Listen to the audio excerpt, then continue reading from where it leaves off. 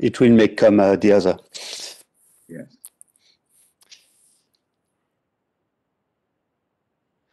I think now it's fine, right? We can start. Yes, please. Okay, thank you. Uh, speakers, participants, very good morning. For the ones from the western side of Indian Ocean and good afternoon for the ones from the eastern side of the Indian Ocean. First of all, allow me to convey, convey my deep appreciation and extend my warm welcome to all the distinguished participants present here for the webinar on the strengthening regional safety, standard, and quality assurance of aquaculture product in the IORA region, organized by the IORA Secretariat with the technical assistance of COFREPECHE. According to the FAO, the fisheries and aquaculture sector provides more than 40.3 billion people with about 15% of their animal protein intake. Fisheries and aquaculture are also a source of income for 55 million people. Seafood, as the world's largest traded food commodity, provides sustenance to billions of people worldwide. Thus, the fishery sector plays an important role in contributing to food security, poverty alleviation, job creation, and also represent huge business opportunities. Several sectors, including the way fish is handled, processed, preserved, and stored, affect the nutritive value of fish product. Food safety and quality is a major, major concern facing the food industry today, with consumers requiring safer and high-quality products. Therefore, a better understanding of how to improve seafood safety and quality is of great importance. IORA recognizes the importance of the fisheries and aquaculture sector, which is one of the most focused in IORA Blue Economy agenda. Since the introduction of the Blue Economy in IORA, member states and dialogue partners are committed to make this sector a driver for socio-economic development. With the establishment of working group of, on the Blue Economy and the adoption on its work plan, more and more projects are being undertaken by member and dialogue partners. In addition, for the sustainable development of fisheries sector in IORA, the core group on fisheries management, which is being led by Indonesia, provides a coordinated mechanism for engaging relevant fisheries management stakeholders across member states, which will not only pave the way for sustainable fisheries management in the IORA region, but also ensure the conservation and sustainable use of marine resources as well as enhance the capacity of member states in the protection and the preservation of the coastal and marine environment.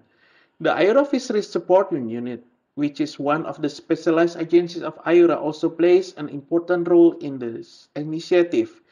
In fact, the FSU noted, hosted the workshop on the seafood product safety and quality on 6 to 10 November 2016 that aimed at enhancing knowledge on local and international regulation and legislation related to seafood safety and quality. I'm confident that this webinar will provide insightful information that will help IORA member states to better understand the aspect of seafood safety and quality assurances as well as international standards and requirements and international certification. I again wish to express my sincere appreciation to your participation to this webinar. I thank you. Now I would like to give the floor to Aubrey. Please, Aubrey. Thank you, thank you, uh, Dr. Gunawan. Uh, good morning, good afternoon, or good evening, wherever you are in the IORA region. My name is Aubrey Harris, and I'm the main resident expert of a project, the IORA AFD, that's for Agence France pour le Développement, the project, a technical assistance project on fisheries, aquaculture, and the marine environment. The project is focused on assisting in the implementation of the IORA action plan, working through the um, work plan of the working group for the blue economy, and in due course, of course, the work plan of the cluster group for fisheries management. Now, since this project started, it started in May last year, it, has been undertaking a number of reviews, uh, reviews across the Iora region in those areas, fisheries and aquaculture. And that is because, of course, because we all know of the situation at the moment. It has not been possible to travel. And we've uh, now accomplished several of these reviews and we have passed them to the Secretariat and they'll be coming through to member countries. Um, these reviews uh, give a status of what is going on. In support of the action plan, for example, we've looked at stock assessment training courses across the Iora region. There's been a literature review and gap analysis of international trade and markets for fisheries and aquaculture pro products across the region. There has been a review of aquaculture and in, with special emphasis on small scale aquaculture, which was done by Pierre Philippe, who you, you will hear of more later. And more recently, we've looked at the existing capacity and needs of Iora member states to implement their port state measures in the Iora region, and also an analysis of, of the measures to combat illegal, unreported, and unregulated fishing in the Iora region. These uh, are all been circulated and in due course, I hope you all have the occasion to see them. The subject matter that we have today, uh, safety standards and quality assurance of agricultural projects in the Iora region. Uh, this was planned to be as a workshop. But because of the situation that we are in, we are having it as a webinar. Uh, we have with us uh, an excellent team pres present today. Um, the, the subject will be introduced and led by Pierre-Philippe Blanc, who is an aquaculture and um, aquaculture and development expert um, who is part of our technical team, the, the Iora AFD COFREPECHE te technical team. He will uh, bring in an introduction and also um, cover some of the other aspects of the presentations which will take place. We are also will this he will be followed by Peter Saul Rogers, Peter is a consultant in trade and development, value chain upgrading, and investor facilitation. He will be looking at food safety and quality assurance aspects to comply with for export and bring in his valuable experience. Next, we will have a couple of presentations from, from countries in the Iora that are involved in aquaculture. Dr. Domitila Kiwelemuendo who is the center director of the KMFRI, the Kenya Marine Fisheries Research Institute in Kenya. She will be looking at the situation of food safety and quality assurance in Kenya. Now, Kenya is one of those emerging aquaculture countries that those are the smaller countries that are engaged in aquaculture with a lot of potential and uh, to make their way uh, to greater production. Um, then we will be followed by uh, Dr. T.V. San Sankar, who's a principal scientist in the Central Institute of Fisheries Technology of Government of India. Dr. Sankar will cover the safety standards and present a discussion of the Indian experience. To be noted, of course, is that India is the second largest country in this region that is uh, an aquaculture producer and produces, in fact, more from aquaculture than it does from, from uh, captured fisheries. But enough of that because you will see it all later. Um, now, after, after the presentations, um, there'll be some questions and answers. You are welcome to um, ask questions and bring in your perspective. There will be also some questions sent to you, and more of this will be will be provided by Pierre Philippe. But we are looking to make it uh, informative, useful, interactive, and to see that you get some benefits in terms of the areas that you are interested in, food safety and quality control. So with those few words, I shall pass over to Pierre Philippe, who will continue and give you the overview of the meeting and subject. Please, uh, Pierre Philippe. Good morning, good afternoon. Thank you for, for being here. So what I propose is to start right away. Uh, I will start by a, a general presentation of uh, the different speaker and the different presentation. And after, uh, uh, I will um, I will move directly to the to uh, general presentation. So um, just yes, please.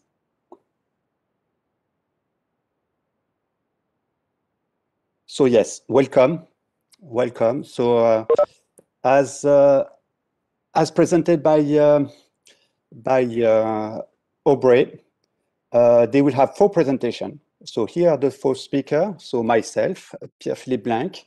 Uh, I'm an international agriculture expert and I'm working here, yes, for the AFD, AFD uh, technical assistant to IORA and uh, on this project uh, implemented by COFREPECHE and Sofreco. on the second presentation, we will have Dr. Domitilia Coulier Mwando from Kenya.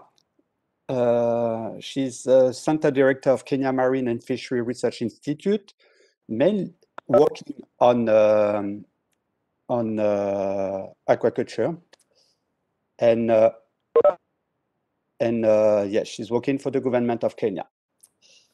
And uh, so this will be the third the third lecture. I because it's on alphabetic order. That's why. Um, Peter Rojesol will do the, the second uh, presentation. He's a consultant in trade and development value chain uh, upgrading, investor uh, facilitation. So he will mainly present the private sector, the, the, the food safety issue on the side of the private sector. That will give uh, a good uh, a good counterpart on the on the other presentation. And Dr. Sankar Sankar from India He's the principal uh, scientist on um, on um, uh, uh, principal scientist. He's working for the ICAR, the Central Institute of Fishery Technology for the Ministry of Agriculture and Farmer Welfare for the government of India. So these are the uh, the different uh, the different presentations that are planned. And the objective of uh, this webinar is, uh, as say Aubrey, to be informative, useful, because you are most of you you are specialists working in food safety. So it's to to bring uh, an overview, to bring some uh, some uh, case study from uh, other part of the world. So to give also illustration of what happened in food safety and the different aspects.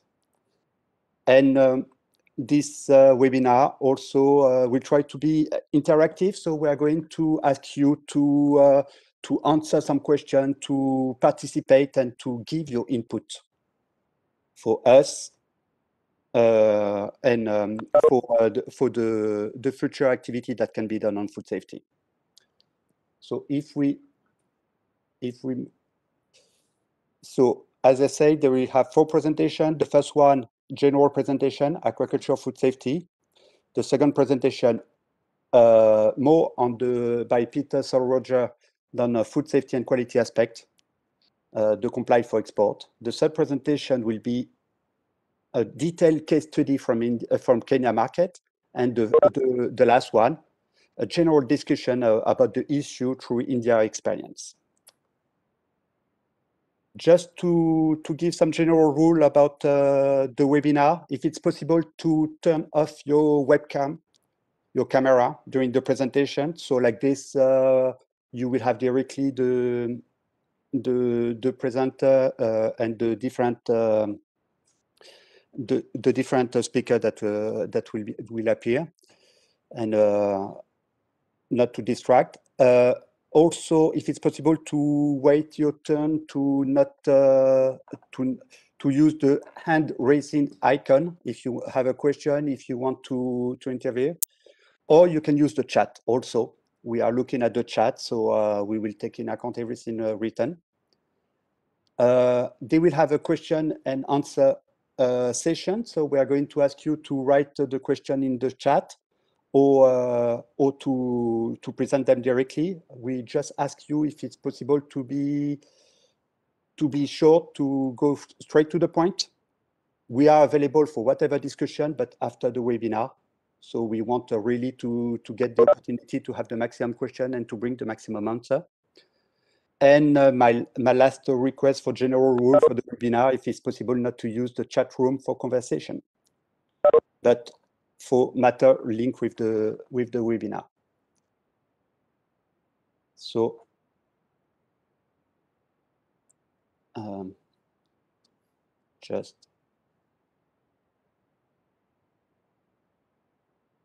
sorry. So just to just to start from here, uh, I need to yes.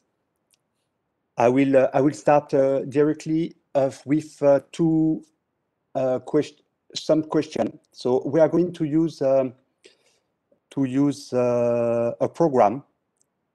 So it just I need your participation. So I hope on your particip uh, participation on this. Um, we are going to use uh, a program for um, just to collect some information because we made the introduction on our side and we would like uh, to have some uh, feedback on your side. So I'm going to share the screen. um, here is it. So we're going to use a program called Mentimeter. Maybe some of you already know it. So I will ask you to uh, to go on the to open uh, on your phone or on your computer, both of them, to open the page www.menti.com so we're going to put this on the chat. Here is it. I'm going to put two. No, all. Okay. I think you you can click on it.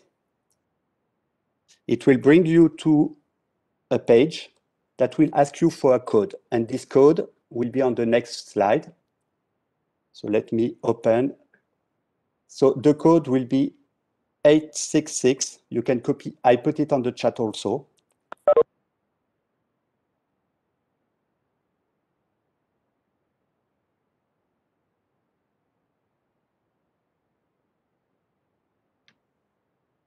So thank you, uh, Philippe.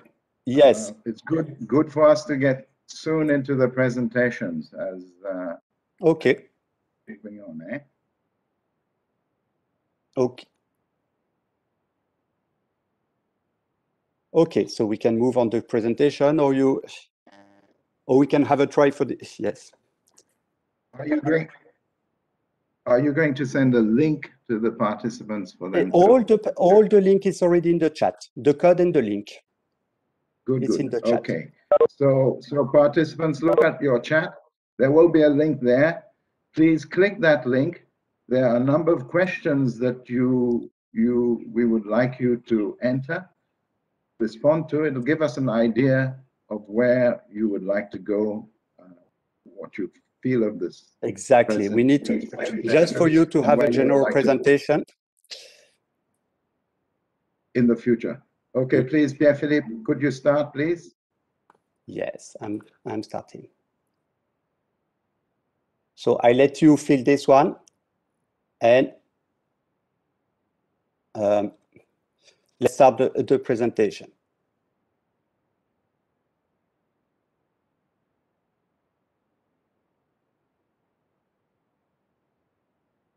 So do you have, ah, sorry. I need to share the, so here is the presentation. Um,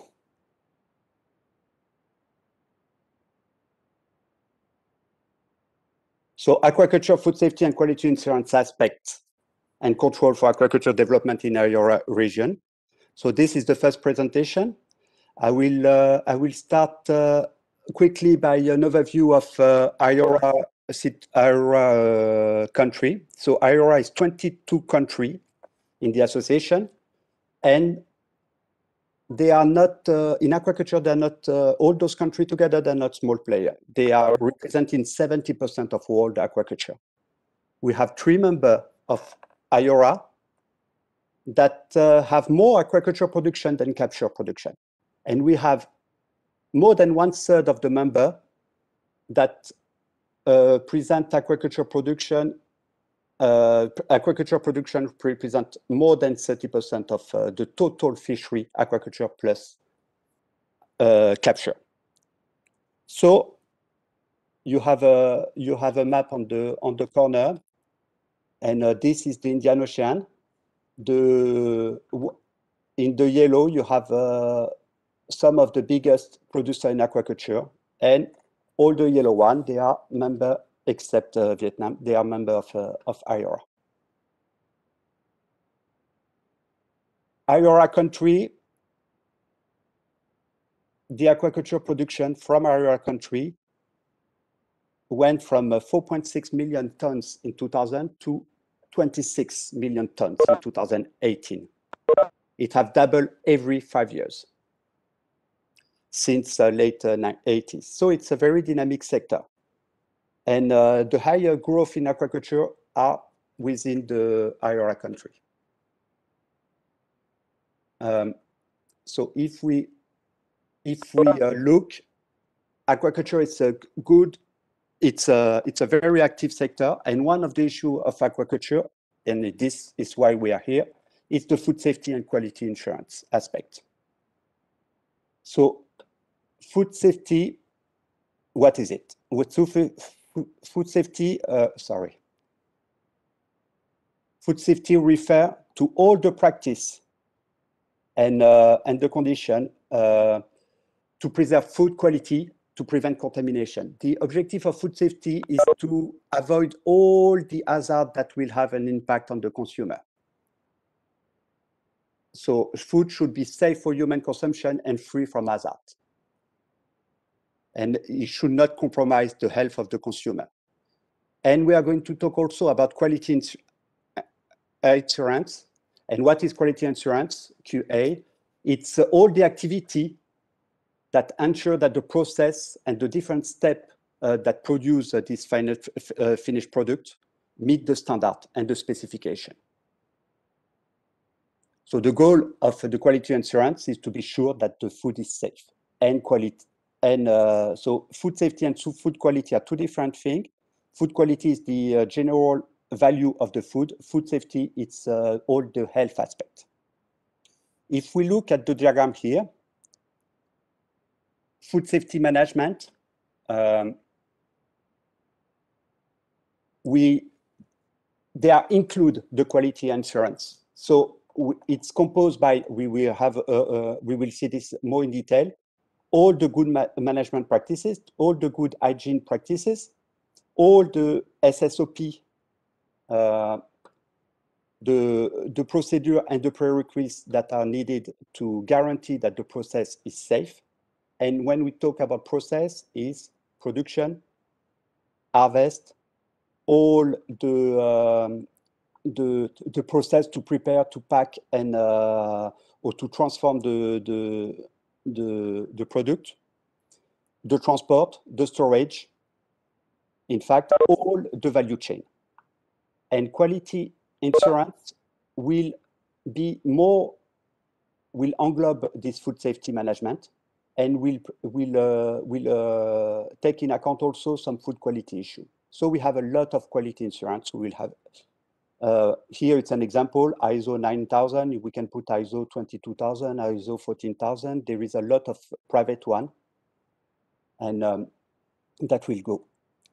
And we can go on more bigger than quality insurance is all the quality management, all the managerial uh, strategy that can englobe everything. So this it's uh, it's a diagram from uh, from uh, Jouve and, and Al in uh, made in 1998 and is still actual.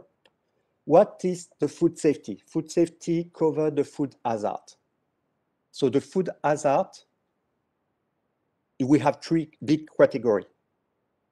The biological one, the chemical one, and the physical one. So the biological one will regroup everything produced by bacteria, viruses, parasites, and all the possible biological toxin that can be in your um, aquaculture product. The chemical one, it's all the environmental contaminant that we add intentionally or by mistake. And the physical one, the last one, it's all the uh, physical element that can uh, that can have an adverse health effect that you, we can find in the product. So it's metal, glass, bone, a piece of shell. Uh, uh, the list is and the list can be very long. So we are going to look quickly at each of them. On the biological hazard, so bacteria, bacterial toxin, viruses, parasite, and other toxin, the, the big player is bacteria. But it's not the only one. So when bacteria, you will have a lot of bacteria that can grow, develop in your uh, in your product, and that can have an impact on the health for the consumer.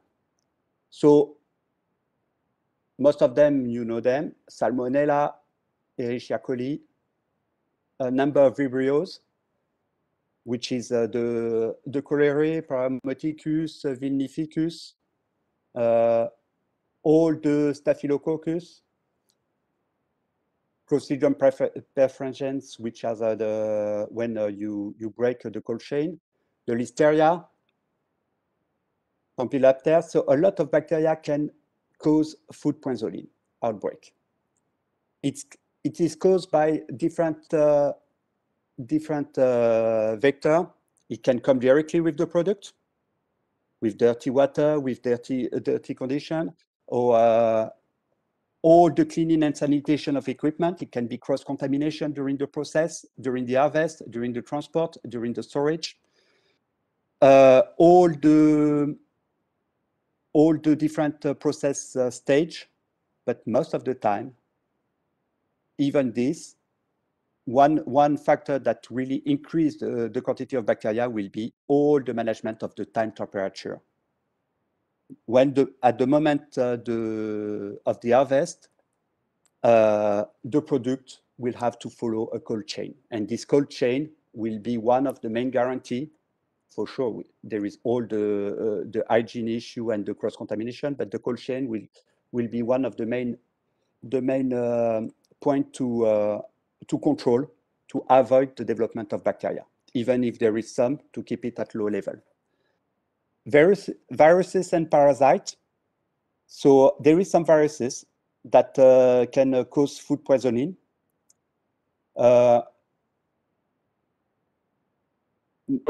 but uh, we are going to, and there is also some parasites uh, such as uh, trematode, cestode, and nematode that have to be considered and that have to be uh, to be uh, sorry to be uh, to be taken it into account to have a safe uh, final product.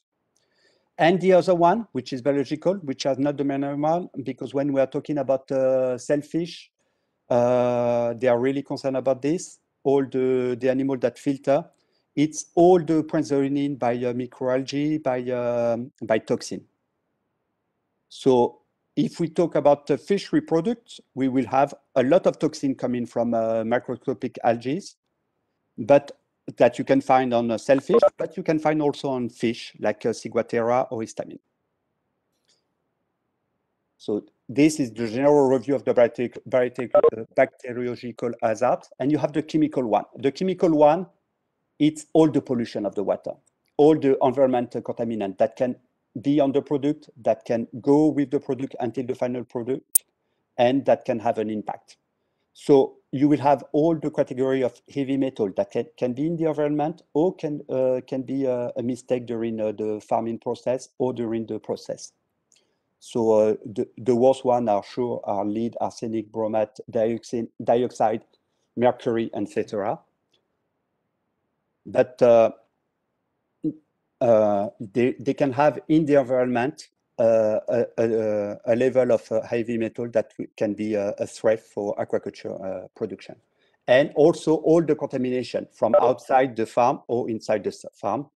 So you have the pesticide, the herbicide, the insecticide, the fungicide, the algicide, in fact, all the side, uh, which are not good with the product, which are not good for the health. You, there is spe special care on the product you manage during the production of aquaculture and during the process, which is chemical fertilizer, the, the, all the product, the chemical product for pond, pond bottom treatment, all the additive for feed, all the additive for the process uh, that you put for the conservation, for the organoleptic, the, the antioxidant, so uh, metabisulfite, for example, for shrimp. But, and there is one which is a bit big uh, stress for aquaculture because in the past there was uh, a lot of issue on this. It's uh, the veterinary treatment that are used during the production, during the hatchery, or that can be mixed with some feed. So um, this issue is uh, is worse when uh, it's uh, the use of forbidden product in some country, like chloramphenicol, nitrofuran, malachite green, crystal violet, which are forbidden one. We there is all the one that we intentionally add also. Uh, uh, all the mistake that can be done, the, all the split, all the contamination from outside.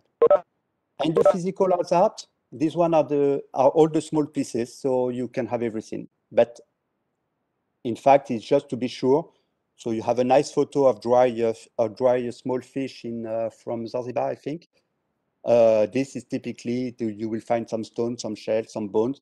So uh, they can have a they can have a, an impact, a small one, a problem on the teeth, or a big one, problem in the stomach. Just for food safety, the list is not closed. If you look at the the, the case of COVID, uh, for example, it's a chapter that is always open that you have to always to be proactive and involved in. Uh, in October last year, China Custom Authority have announced to discover trace of COVID in the packaging of seafood. So it's not right now. There is no evidence that the product can, but you have to. It have to be to enter in the general food safety measure. So what are the impacts? So here are the key facts of the World Health Organization. Um,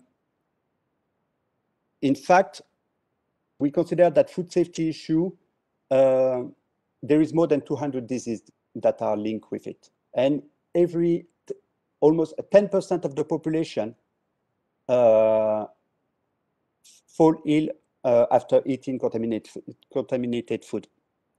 And we we assume that there is almost half a million people that die every year. This is for all the food. But when we look at the figure for aquatic products, all the fisheries part, uh, we can see that fish is, is the most commonly implicated food category in outbreak. So this, um, you have a nice, a nice essay, a nice book uh, written on this by uh, Barrett and Al in issue in 2017. And you have some study in United States, uh, UK, uh, EU, and we can see that more or less 10% of uh, the foodborne diseases are coming from uh, from fish reproduct. So 10%. So it's an issue.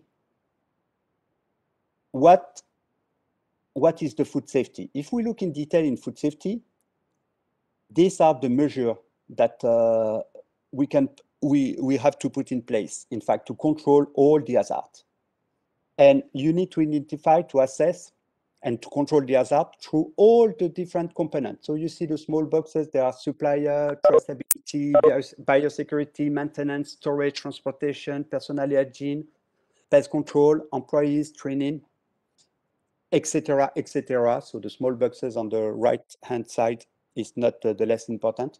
And all these are controlled by some SSOP, so uh, procedure, operating procedure, uh, GMP, good management procedure, GHP, good, good hygiene procedure, and all the prerequisites.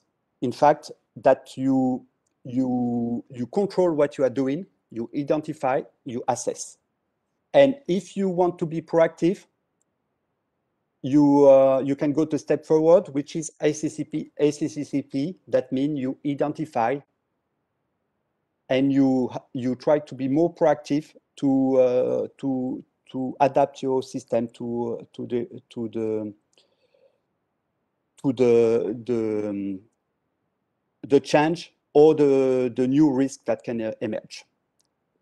Just a small reminder, Pierre Philippe, we've got five minutes left. Eh? Thank you. Okay. So when you say the prerequisites, one of the, the you cannot uh, you cannot uh, go uh, not talk about Codex Alimentarius. So I will not go on Codex Alimentarius, but there are all the detailed prerequisites uh, that they are all proactive. Uh, it's uh, the food standard and the all the practice that are that are always a review by uh, and is managed by FAO and uh, World Health Organization. Quality insurance, as we say, it's a, it's a way to manage the food safety. You have many. Here I put uh, some label of some quality insurance, but you have so many that that you can you can um, that can be an asset for your, for for the, the production of aquaculture and that uh, cover food safety. But what difference between aquaculture and capture product? In fact, you have it's all you, it's the same product after harvest, but uh, you have some uh, higher risk in aquaculture. For example, for with veterinary drug, the cross infection uh, of pathogen because you have high density, you have the chemical contamination and also because aquaculture is closer to all the human activities so all the the contamination by uh, by uh, pathogen of fecal origin the contamination from uh, from a chemical are maybe higher in aquaculture. And you have the disease outbreak and the consequences. Lower risk in aquaculture than than uh, capture uh, in fact, it's the parasite. And also in aquaculture, you have the opportunity to, to have a full traceability that we, you don't have in capture because you don't know the life uh, of the fish before you hook it or you have it in your net. And the freshness at harvest because you can choose when you harvest and uh, you can uh, directly control the harvest to the process or the harvest to the market, which is not always the case when you are doing uh, fisheries. And you have some toxins that do not exist in aquaculture the one I, say, uh, I, I, told about, the Ciguatera histamine, you have no issue in aquaculture. I will uh, not talk about the disease, but the disease is not food safety, but the consequences of disease will have an impact on food safety. But disease are following the same management than food safety. So that's why most of the time they are included. Competent authority know it. And here we arrive to what uh, what uh, we need to consider, uh, we consider the, the organization, we consider the general, and we have the government action. And the government action will be on food legislation, regulation, and policy to put some rule, all the law enforcement, so the competent authority that are here to, to check, to, uh, to apply the law. We have also all the aspect of advice, education, research, data gathering, and all the providing health-related services. We have those two nice photo. In fact, the government uh, action have to be national and that have to be for export. So Pierre Philippe, we've got three minutes left, please. Yes, no problem. A little bit more This will speed, thank this will be uh, defined on the other presentation. You will have some practical example. Same thing for export. Uh, international requirement.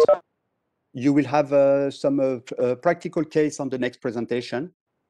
And we have really two level of responsibility, the producer and processor that are responsible for fish, fish safety and quality but you have we have the competent authority that that have a responsibility of control and of uh, inspection, audit, and sampling.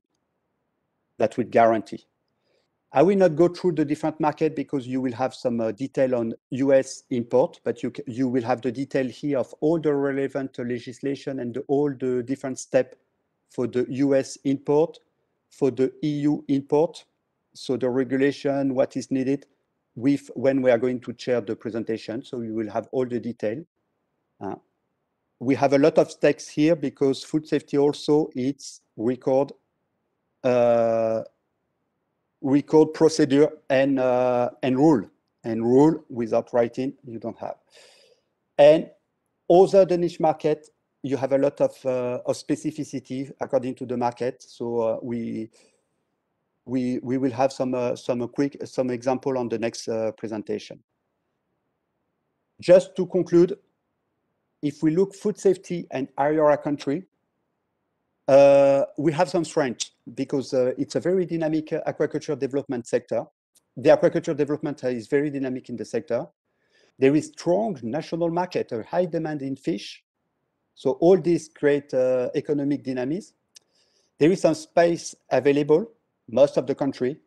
Some country a bit more restricted, but a lot of space to develop aquaculture. And there is, we are talking about tropical species with a high demand to export also. Uh, the weakness will be the sector development.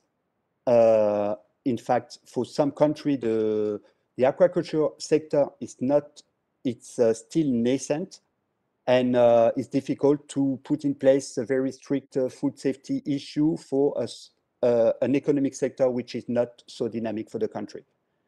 The consumer education is one issue for the uh, national market. Infrastructure knowledge are common issue for uh, for many countries and IORA uh, uh, from IORA member. And also they are all in tropical areas so you have some issue about uh, to maintain the cold chain. So it's also um, a weakness. We uh, you you need to to bring ice. The opportunity uh, you have a lot of market regional market that uh, are good opportunity to be developed. Uh, so that will create uh, more economic uh, value that will create more there is more aquaculture will have an economic weight more the food safety will be developed also. And you have a lot of complementarity between aquaculture strength and weakness in IORA country. You have some countries that are really advanced in some uh, question on food safety on aquaculture some that are that are have a need of uh, knowledge and um, and uh, equipment and in fact in inside indian ocean you have uh, the needs the demand and the offer. And the threat, uh, it's uh, the normal threat of uh, food safety, which is, well, for sure, the quality control norms are strengthened, the pollution, the environment degradation, climate change, everything that can impact aquaculture and that can impact the quality of the environment where the animal are growing. So this was to finish this presentation with uh, one photo of a good illustration of food safety, which is cleaning and sanitation. You can see the mark on the tank that see that there is control record. So some some of the country will recognize where it comes from. It's coming from uh, from uh, Indian Ocean directly. Process. So uh, Aubrey, I give you the floor. Thank you very much, Pierre-Philippe. We shall move on to the next uh, presenter. I'm just Um, I, take out. Thank you very much. That gives us an overview and the setting. And the next presenter on our on our um, agenda is Peter Saul Rogers. Good day, Peter.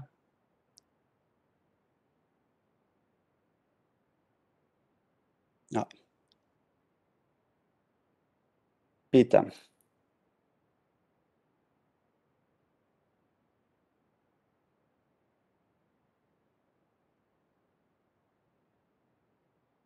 Have we lost Peter?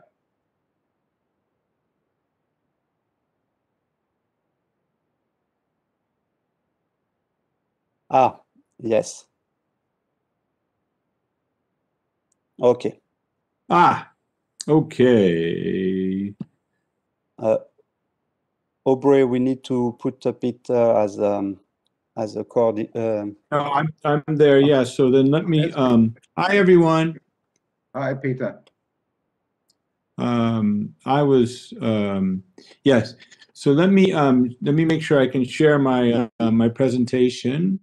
And, um, and then we'll take it from there.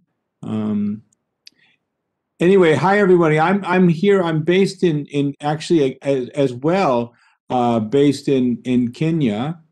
Um, but actually, I, I, I travel quite extensively in the region. So, um, I, I can what I'm going to try to do is give a overview of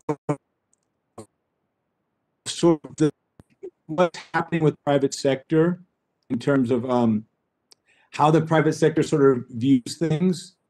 Um, okay, so can everybody see my screen? Nope. Okay, let me uh load it says uh it says loading should be coming up here. So um you know I see that there you know we have a bunch of different ranges of sort of expertise and points of view. So bear with me. I'm trying to um give us you know different perspectives and so some people will will will know this subject very well in some areas and and other uh, other times it'll be a little bit uh, new in terms of because when you when you're talking about private sector, you know, I'm I'm loading the the file now. It'll be another. It looks like about halfway. So when you talk about the private sector, their viewpoint is going to be different than the, let's say an academic or some one of the relevant authorities or the institutions. So uh, I'm going to kind of go over some of the ways I describe some of the uh, the the standard operating procedures for companies that are in the that want to export. I think everybody can see my screen now, right? Um, is it, I just want to make sure everybody can see it. It's not not available You yet, guys Peter. s- Oh, really? Okay. Well, it's show. It's That's showing. it. Yes, we, Is we it have there? it. You're on. Oh, okay. So um, this is like so pathway to exports and explanation. If I speak too fast, put it in the chat because I tend to do that. So here's all the stakeholders when you're looking at uh, trade and how many of the of the different sort of actors and the different hats that people wear in the aquaculture uh, sector. So I, I'm not going to read every one of these slides. I have a lot of slides, and this is something we can go back and ask questions on. But let me let me pull some of the bigger points. You've got the farmer, but then you've also got on the other side of the wheel, you've got the laboratory, uh, you've got the inputs for the feeds, but in the middle, you have the the actual movement of the goods, the actual changing of the goods, processing, but then also the documents and the business registration. Because as you uh, give a fish a document, it's also a type of value added. So fish requires. Um, so we'll go to the next slide. If you see the documents in business business registration is the sort of the focal point to make this wheel work. Uh, and you notice that the, the, in the circle you have the brokers and the traders, which is they're they're sort of omnipresent throughout the whole system. And if it's domestic markets, if it's uh, you know if it's international markets, so some of the, uh, the the documents that are required is registering your company having a, a, tax code with your company depending on the, the, the revenue authority of your country. There's a lot of you know change between different countries within the iora but there's some similarities and so i'm not going to read over everything i just want you to sort of get the idea of the types of activities a fish processor will need to be aware of uh, and so if you look at the next, um, what is a competent authority? And I think a lot of you in my audience here are either associated with a competent authority or academics for the competent authority. But when you're talking about private sector, for me and my work, just so you can kind of get an idea of what they, you know, the, the is what is the competent authority? So, you know, they, they actually get, I mean, all of us in the industry, we understand what it is, but it gets confusing. For instance, uh, just to give a, a, an anecdotal, in, in in Somalia, there isn't really an active competent authority, but they're trying to trade even um, in some aquaculture products. So the way I describe it is, is that you have a, a match between the farmer and the buyer, and the way for those two to to engage with each other and do a business transaction is for there to be an umpire. And the umpire is designated to be the one that makes whether the match, if you're offsides, if there's been a foul on the field, and that comes down to if there's food safety, if the fish has some bacteria, then there would be uh, the referee would call. But you have to have a recognized referee that everybody says, okay, that's the person that's going to officiate this particular trade, this particular match. And so, where does the competent authority fall into this activity where you have the aquaculture pond or farm, you have the shipping, the customs, the freight, the cold store? The uh, oftentimes the private sector won't quite understand. Is it a freight document? They don't know. So what we want to, what I explain is, is that the referee is going between your shipping and the customs of the importing country so that they understand where the ref would be able to uh, call the whistle. And you know, you look at some of the things uh, back to you know the things that a private sector will be looking at is their records, their logs of how the process has worked. So, you know, this is the HACCP, the critical, control points, and different uh, you know levels of HACCP. You know, there's how many critical control points, and that's one thing you ask a processor is how many critical control points do you have? Uh, is is it uh, going to be a fresh product? It would be less if it's going to go into the cold store. Some of these other things, you know, like I said, I don't want to read everything because I think we can all read and we can go back. But uh, for instance, if you're exporting to the to the FDA, what you to to the United States, you have to have relevant information on the on as you as a partner, and we'll go into a little bit more of um of the uh, compliance in line with exporting to China. So U, U.S. has one type of importing requirements. The EU has some. China has some as well. The Chinese markets are more a little bit less uh, transparent in terms of what needs to happen, but it, it, it, there's a, you have a controls in terms of making sure that people are safe, and so in terms of the food that they eat, and so um, and I like to put in um, you know we, we, can go through this the quarantine certification and stuff like that, and, and you know in today's time those issues have become a lot more relevant. I think countries across the board, we're seeing in Middle East, we're seeing investments in food because countries have become a lot more aware of how important it is to have food in their region and importation of food and looking at the quality and making sure that it has met certain standards. EU is probably the mo- most stringent, and they have a lot of these different uh, requirements. Now, so for instance, back to talking to the private sector is explaining to them that there's rules to the game. The competent authority is the umpire, but they're reading a playbook that has based between the buyer and the seller there's different playbooks. For instance ISO 22000 there's maybe there's eco labels so that the product has been labeled as msc but the competent authority is just looking at what the importing country would be required and not one of the private standards that the buyer would require and so that's something that that, that uh, private sector will get confused about. They'll say, "Oh, but it's MSC certified." So you know what they're looking for is is the ways to label their their product, but also have a better story.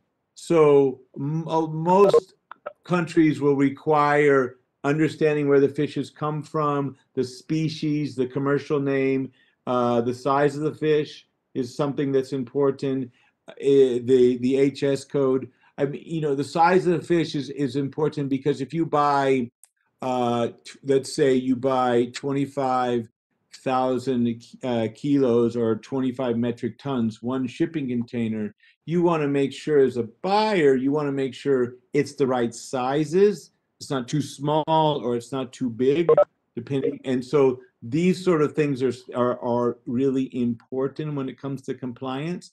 And if you look at, for instance, the batch number, going back to uh, Pierre Philippe's, where he showed you where they were doing cleaning and they had a tank and they showed the batch number. So being able to document and show the chain of custody and the compliance at each one of these steps is how you promote your company on an international level. So, for instance, you know, your freezing dates, those are going to have that's going to be an aspect with a critical control point.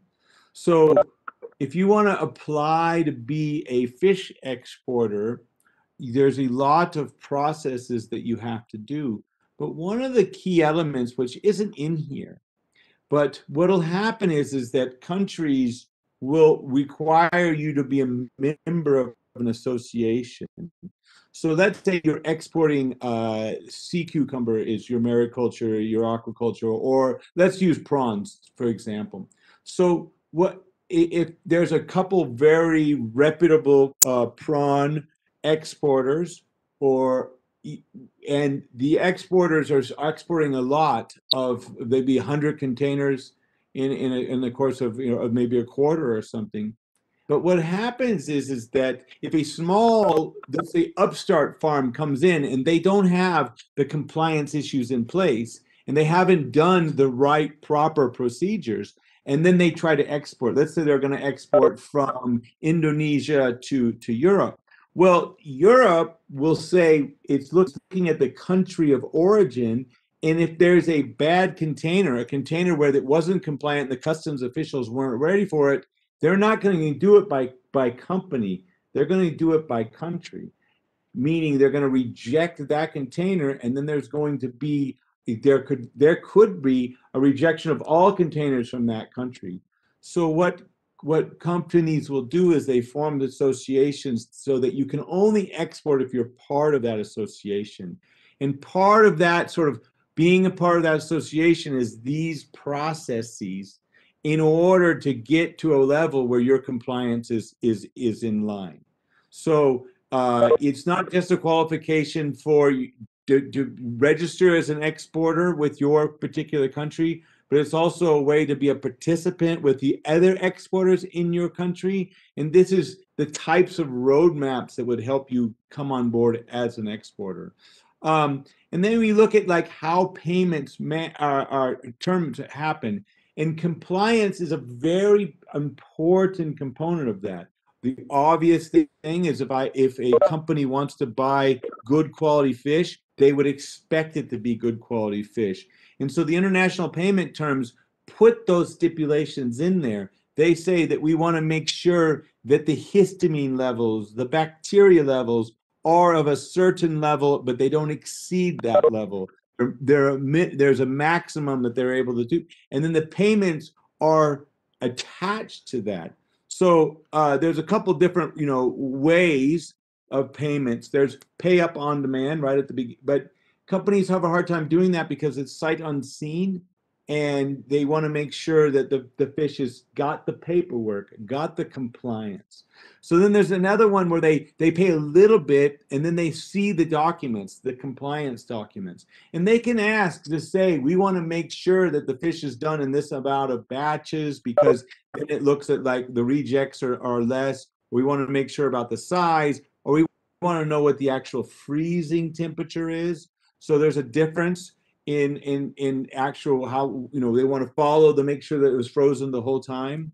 And so those are like the two three and four and then the last one's a letter of credit. And the reason why i'm bringing the letter of credit up and why we're talking about payments even though when we're talking about a compliance conversation is because the banks become the intermediary and if the banks don't understand about the compliance documents then you find yourself in a position where you haven't showcased your product in a compliance standard way. And the banks don't know about aquaculture and they're just looking to check a box to show. And so you say, as a buyer, I'll buy this fish as long as it's matched these compliance documents.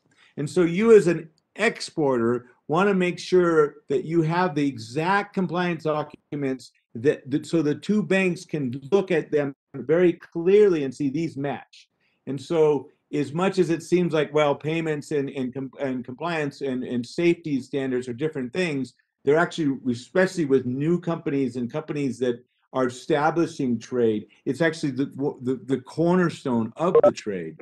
So uh, we could talk about full payment against documents. Against documents just makes the documents come over. Uh, so you see the documents before they get shipped. And these are some of the things that fall in there. Bill lading, the health certificate, which is the competent authority, the packing list, which will also talk about the sizes of the fish, the commercial invoice, so you know what you're getting in that. So, and then the, the certificate of origin, which uh, is becomes important in, in, even in, in capture fisheries as well. So, um, going into sample documents. So what happens is, is when you know we look at these sample documents, you see, okay, here I, am if you take a moment and you look at these, you're looking for where is the referee stamp, where is the exporter's ability to put in where they where they got their product, uh, and so these are when you when you're helping a a company become an exporter they're getting confused about requests for verification and stuff. You know, and and, and every country will have sort of online uh, information about this. Um, you know, here we have one from Indonesia, which is the fish in an inspection agency. So this is showing that the fish passed the inspections as being so the referee didn't blow the whistle to say the referee approved that that was a, a score on the goal, let's put it that way. Um, you know, and I, I don't know how much time I have here, but we can go through some more of these documents. But uh, I, we can come back to that one. Um, the EUR was really important in terms of EUR 1 because the European Union was requiring, again, they're requiring these different uh, uh, information in order for them to receive the fish. Sometimes there's quotas with fish and how much fish can be imported in, and and then being able to uh, be aware of that as an exporter. Um, but and then also your HS codes, it becomes really key and important here in, in, in terms of if you're going to export, you don't want to mix batches because maybe there it's two different. You've got different HS codes. So you, it's going to be easier to try to keep one in one container load. Container load is 25 metric tons, and there really is a difference between shipping if you're going to ship uh, via, via freight and via um, you know sea. There's a there's a big difference when you ship at a full container rate because then you can kind of keep your batches okay. But you know, there's other Peter, things. You've got five minutes, so you, yeah, you're so I'm just well. gonna I'm well. just gonna but I'm just kind of finishing up here. But there's other things too. So, for instance, this was uh, a fumigation certificate.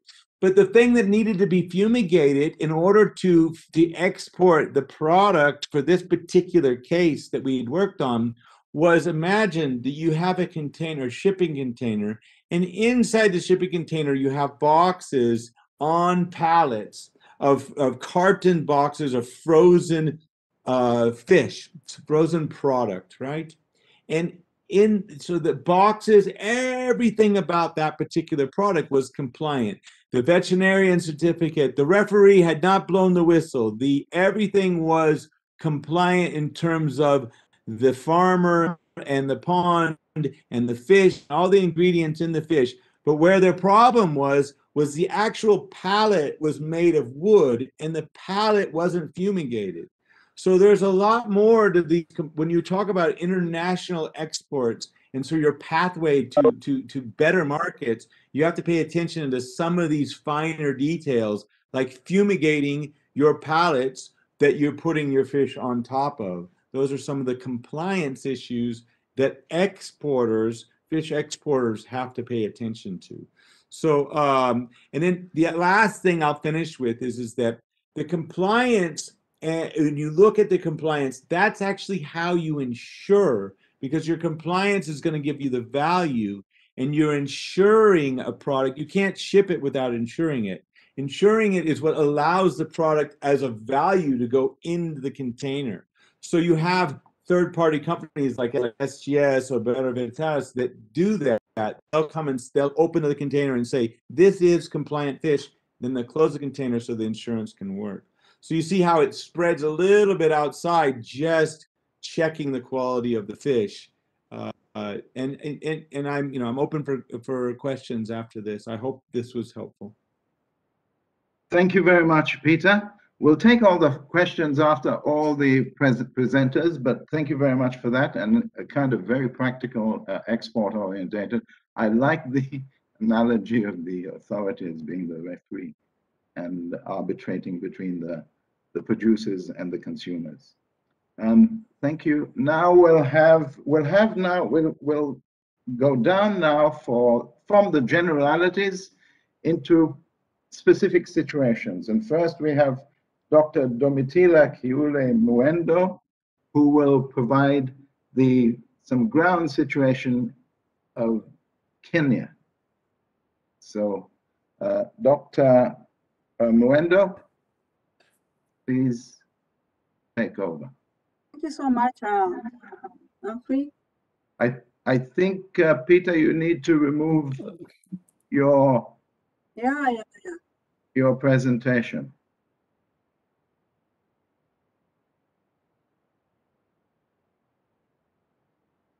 Up. Yes. Could that could that presentation be removed for Domitilas?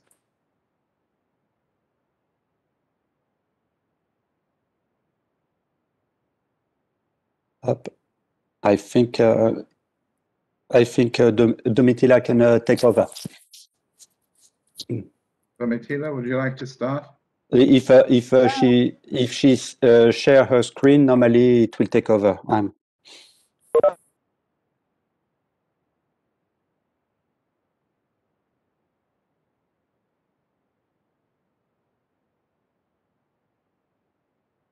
So,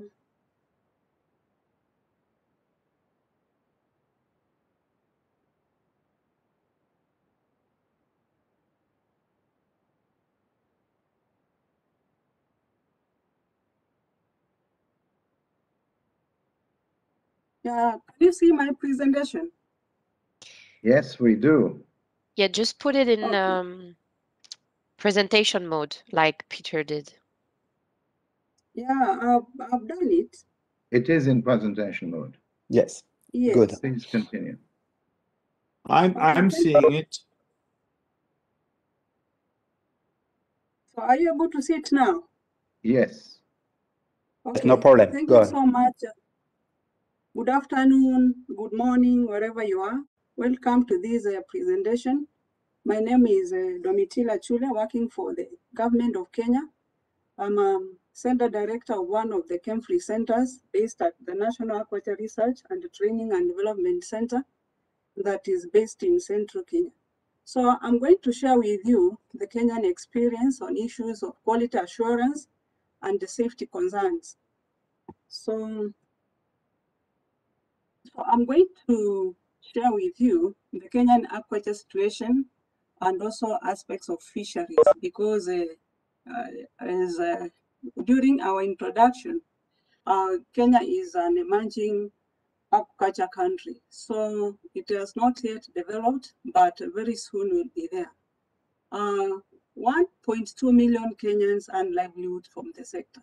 So some Kenyans are involved in farming, others in processing, and others in marketing.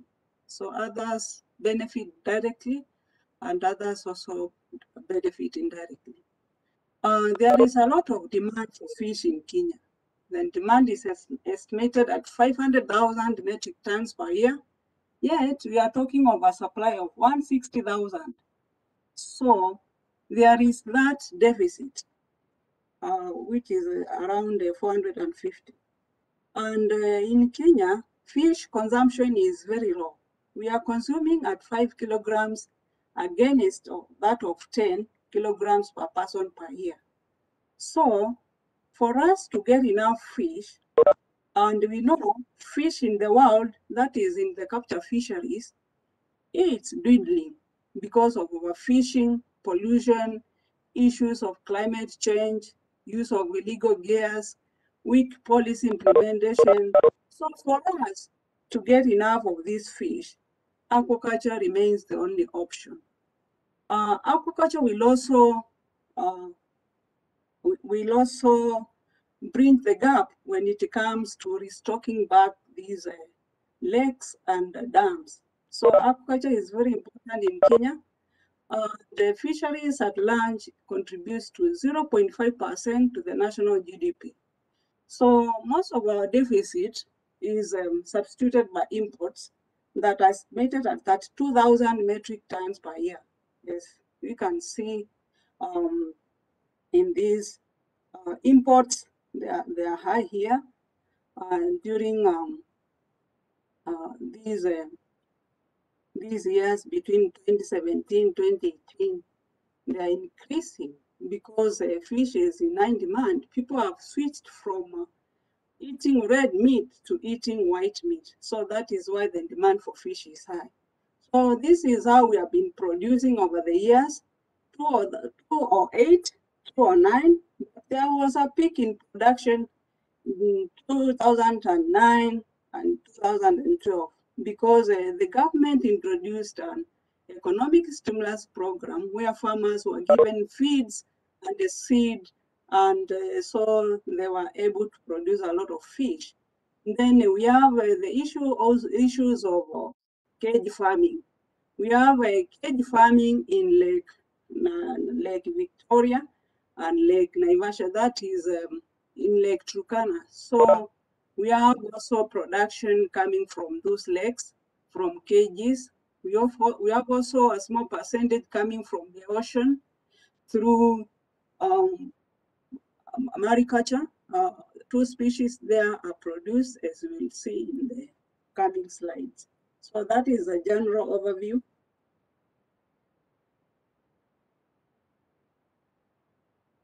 So I'm trying to move to. These are the current species that are captured in Kenya. Are the capture systems in Kenya? Sorry. So we have seven ponds, we have liner ponds, then we have raceways, uh, cages in the Lake Victoria, modern hatcheries. Uh, from our previous presenter, he said that it is very important to consider where we are putting our fish when we are siting our fish ponds, it is important that we consider issues of safety, issues of heavy metals from the soil.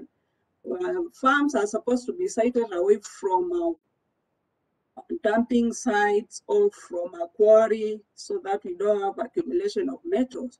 So source of water is very important.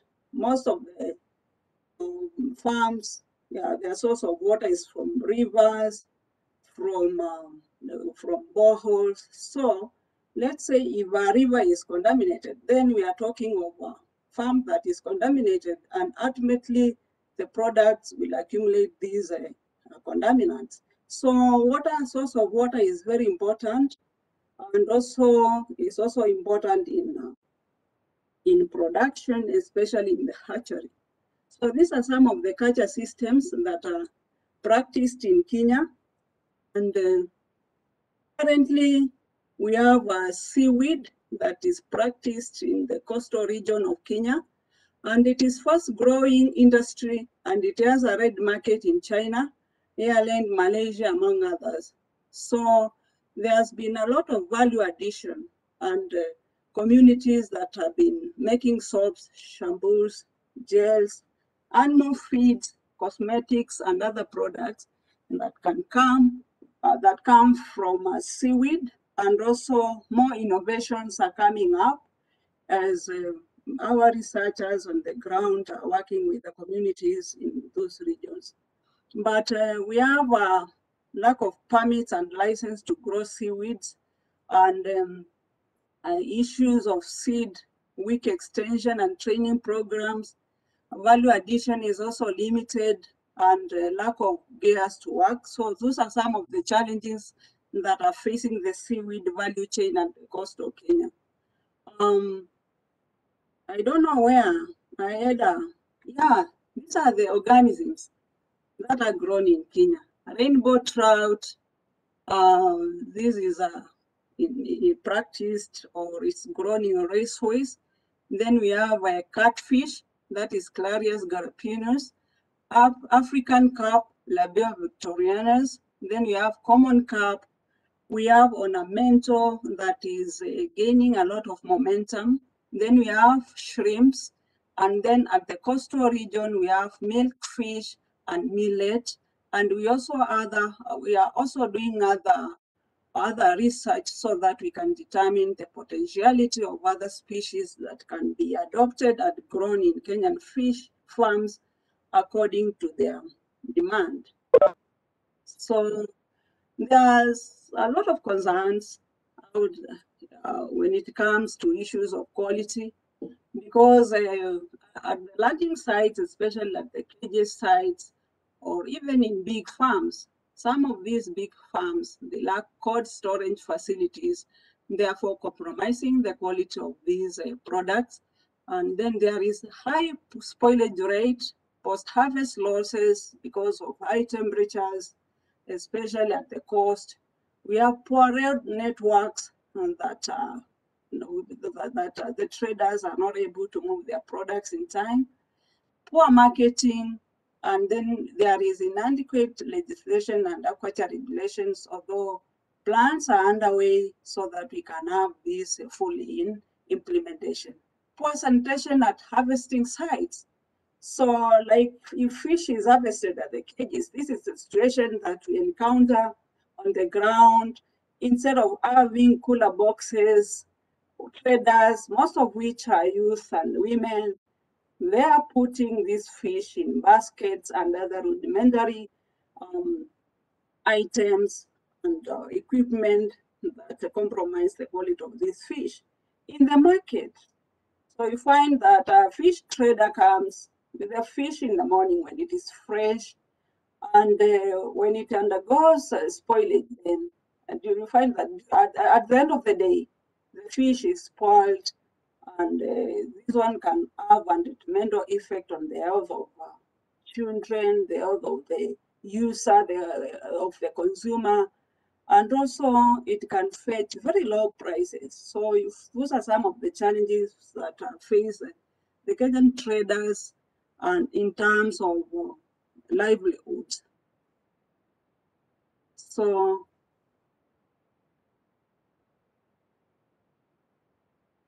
I'm trying to move on to the next slide.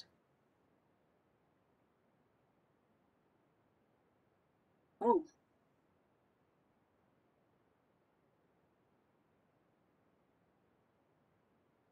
Okay. So in aquaculture, we have hatcheries. Also, so what are some of the safety measures that are take uh, that are being uh, considered.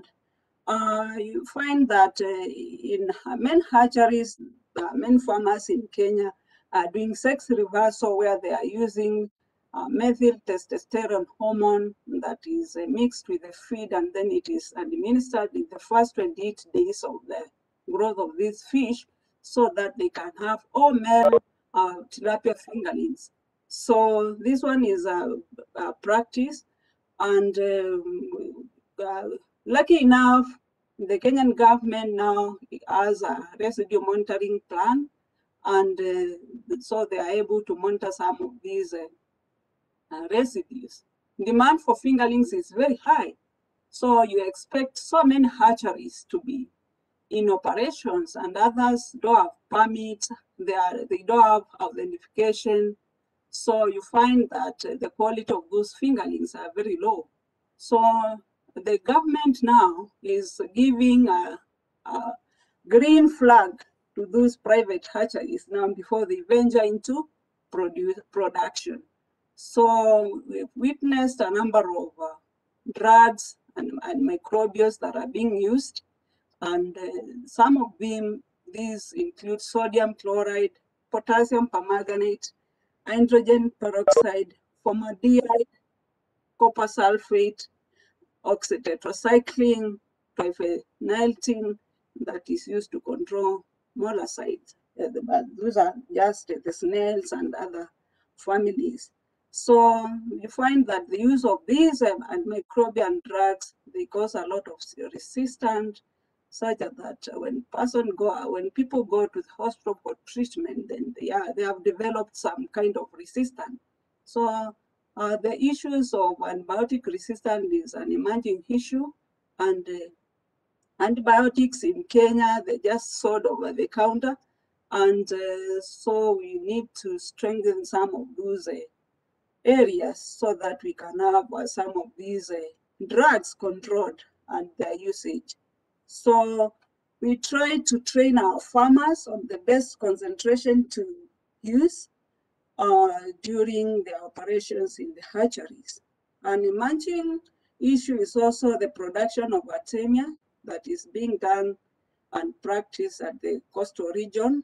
And uh, this one is very good for the fish, the small fish, because uh, it improves on survival rate. So the issues of fish feeds is also a big challenge in Kenya. Uh, we have cottage industries. Most of our feeds are imported and uh, they are very expensive. So those who are doing uh, the local manufactured feeds, some of them uh, don't, they are not of good quality. And there are issues uh, of aflatoxins and you know aflatoxins is very, very risky because it's carcinogenic and also it can cause some other health uh, hazards. So I don't want to repeat this, but these are some of the hazards that may occur in aquaculture products, harmful bacteria, and we are doing and taking considerations of fish safety because if our people are sick, then it means that will uh, the, the economy of that country is compromised. Like if you see the situation of COVID-19, what is happening now? It's because um, the economies are just at a standstill, nothing is going on. So if we can prevent or if we can take into considerations issues of safety when we are producing our fish, then we are talking of a healthy nation. We, we, need to grow in economies, tourism, trade, food supply chains, now cross multiple national borders. We are exporting and we are importing. So issues of safety are very good in terms of trade and also the well-being of that particular country. So it is very important to avoid some of these things, like the metals and the machine feedings. We are doing a breeding program and some farms in Kenya. Excuse me, So Domitila, we've got five minutes left, eh? Thank you. Okay, okay. So these are some of the fiscal hazards uh, that we need to look into. And this one is uh, uh, microorganisms of health concerns from a study carried out on Kenyan aquaculture products, and majority of aquaculture products were contaminated by microorganisms. Yeah, we are talking of E. coli, whose source after sequencing emanated from fecal contamination. The contaminants so reflect the handling standards. So it means that uh, standards of handlings are not well uh, taken care of.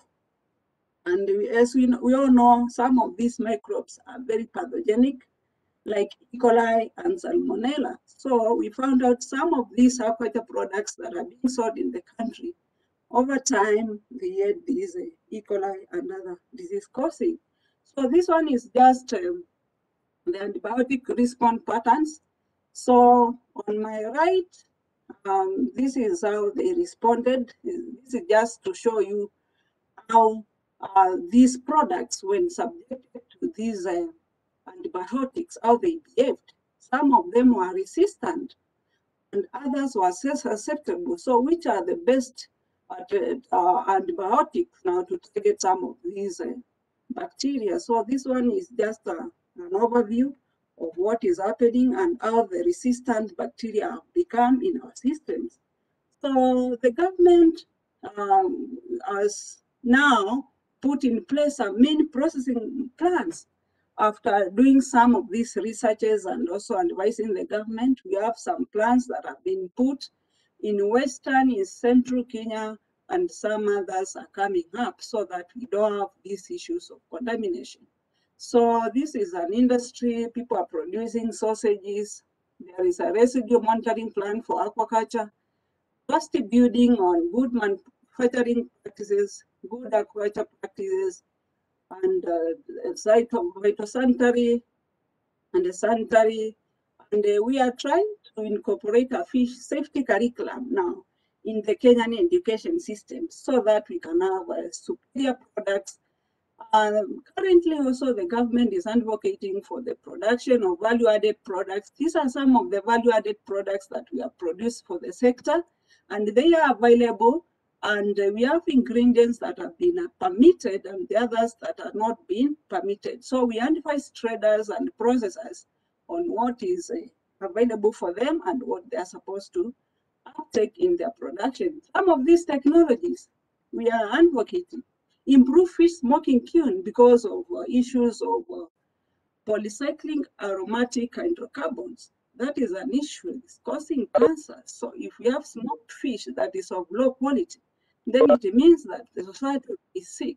So we are advocating for the production of technologies now that can produce uh, products that are of high quality and that can be even sold in regional and international markets. So biosecurity, we are protecting the fish farms and the fish ponds, producing fish in cages and also incorporating some probiotics so that we can have microbial flora in the in the science or in the digestive system of the fish so that we can have efficient and improved FCR. So um, food control system in, in uh, Kenya of course, we have a food safety bill and policy uh, that is in the parliament. And then we have the food control system. The controls are there, laboratories, and then uh, these uh, the results are communicated through media. So I don't have to dwell into this. These are some of the capacities that we have. We have labs. We have traditional inspection by the public here. They just present themselves in the markets, and then they get to know what is there and what is being practiced. So these are some of the practical and interventions and some of the existing capacities emanating from the concerns that have been presented in the in the area of food safety. So conclude, Kenya is part of global village. It is a very active trader in global fish import and export market. So Recently, there was a, we were given an opportunity to export our aquaculture products to EU market, and uh, that one is underway. And very soon we'll have our fish out there. Otherwise, Kenya is a signatory member of various international agreements, WTO, And we have uh, manuals or standard operating procedures that are followed by manufacturers and our farmers so that we can have safe products for consumption by the Kenyan people and also by the world at large. I want to thank you for listening to me. Thank you so much. Thank you. Thank you very much, Domitila, for a very visual and nice expose of the situation in Kenya. And now we shall pass on to, to one of the largest uh, countries. We now have a presentation by Dr. TV Sankar of the Ministry of Agriculture and Farmer Welfare in India. And uh, this is of the country which is uh, one of the largest um, producers. Dr. Sankar, please proceed with your presentation. The previous presentation is still on. You have to put on your presentation and it will override it.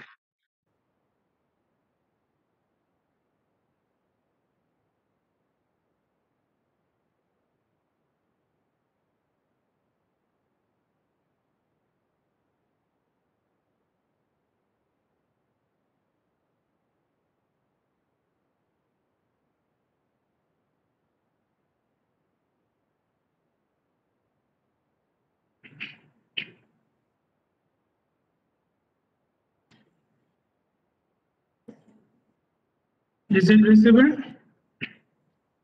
Yes, I think we can see it. Yeah, Thank you. Good morning and good afternoon, ladies and gentlemen. It is indeed happy to be at this seminar today.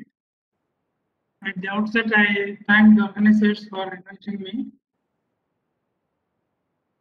I am uh, Dr. T.V. Sankar, working as principal scientist uh, with the Central Institute of Fisheries Technology, Cochin, which is at the southernmost tip of India.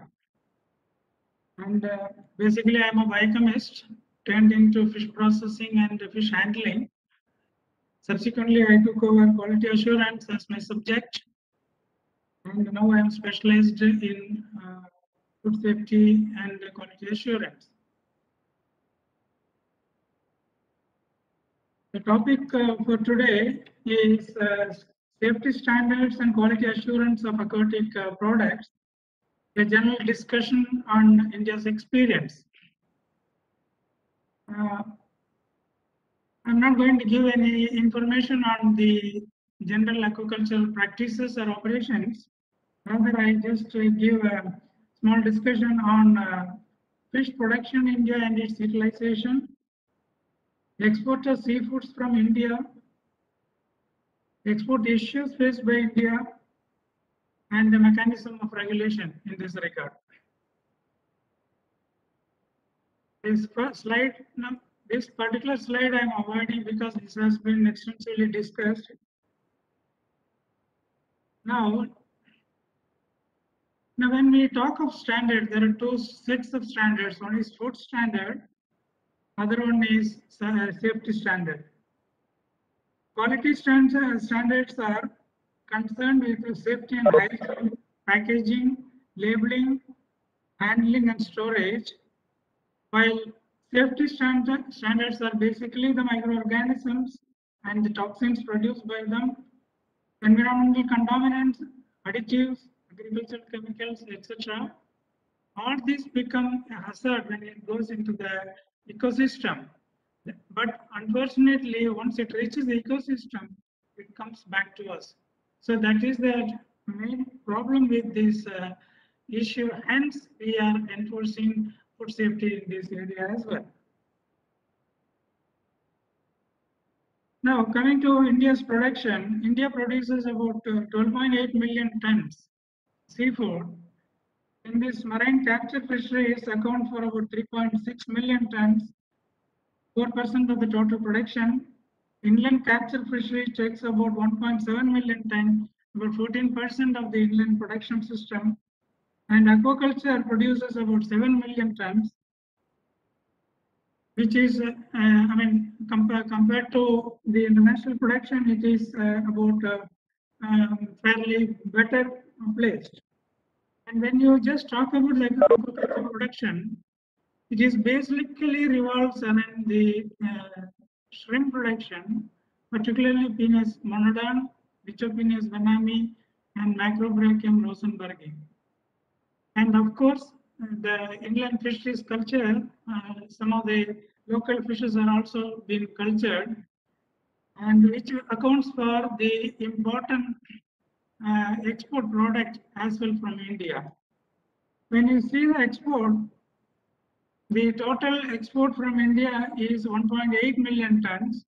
In fact, one tenth of the total production from India is being exported.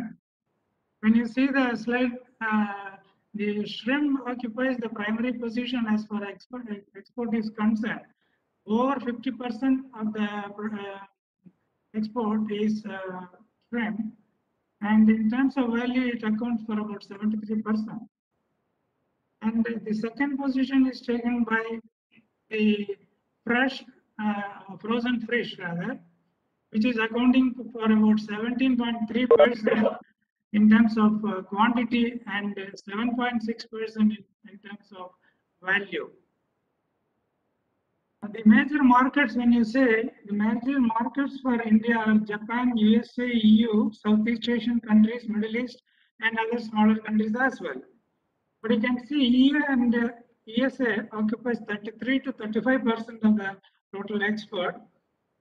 In terms of value, US contributes to 35 percent of, um, followed by EU, China, Japan, and other countries. The main products, if you take the export are frozen shrimp, uh, frozen uh, um, other crustaceans, frozen cephalopods, frozen fin fishes, dried fishes, live fishes, and other others. The others include basically the products developed from the fishery resources. Now, when you export, obviously, this is in line with the standards of other countries. The food safety is a primary con concern affecting the international trade. We know that there is no dispute on this.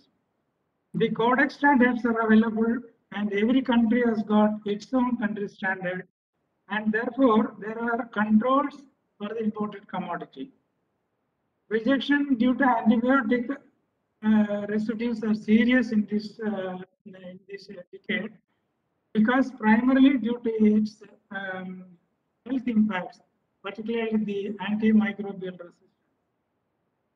When you see the rejections data starting from 2002 to 2021, of course, I missed a few years in between. There, there are 25 to 30 rejections from India uh, by the by EU. Uh, the product-wise uh, analysis shows the percentage reduction are maximum for shrimp, followed by uh, cephalopods and uh, fish. But when you see the rejection from ESA, the percentage share rejections uh, to the total rejection, the total import is they are reduced considerably from 6.1 to 0.31 percent between 2004 and 2017. When you analyze the rejection data, you can clearly say the rejections are uh, in specific uh, cases like improper health certificate, histamine, sugar poisoning, additives, foreign bodies, heavy metal residues, cadmium and mercury particularly, and insufficient or incorrect labeling. Then uh, on the issues of um, spoilage like total plate count and specific spoilage bacteria, then uh, defective packaging, presence of pathogenic bacteria like Vibrios, and more importantly, the, the presence of antibiotic, that is forbidden chemicals like nitrofurans, chloramphenicol, and among uh, nitrofuran, the metabolites are finding place in the rejection list now. And India, unfortunately, had a few rejections in AOIZ, a metabolite furazolidone, a compound of uh, nitrofuran. But when you do the uh, analysis of the rejection pattern, it is um, it can be seen the root cause of rejection indicate the inadequacy in the implementation of good manufacturing practices, handling issues, use of banned chemicals, and more correctly the traceability of the raw material. So these are important factors when we try to put the food safety in position for a particular uh, ecosystem. So what are the options with us? We have to have a good regulatory mechanism, good preventive strategies, and we have the HACCP system. We have to convert the available HACCP into the aquaculture system.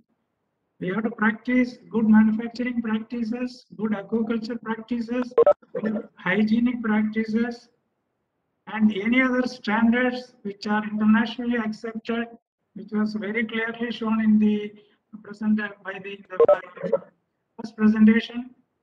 And the importance of good aquaculture practice has been envisaged, and the importance of prerequisite programs have been uh, discussed. And all these are very important as far as uh, uh, this uh, aquaculture is concerned. If when we will just see how uh, the mechanism of control happens in India. You know, India's um, the food uh, FSSAI came into existence in the year 2006. Prior to FSSAI's um, Food Safety Standards Authority of India, the apex body as far as food safety is concerned. Uh, prior to its inception, the Indian scenario was that it was controlled by so many acts which are controlled by different ministries. So there was not a unified ministry to control this. So this itself was a big issue. Then upon elaboration, we just found what is the reason, how to improve it.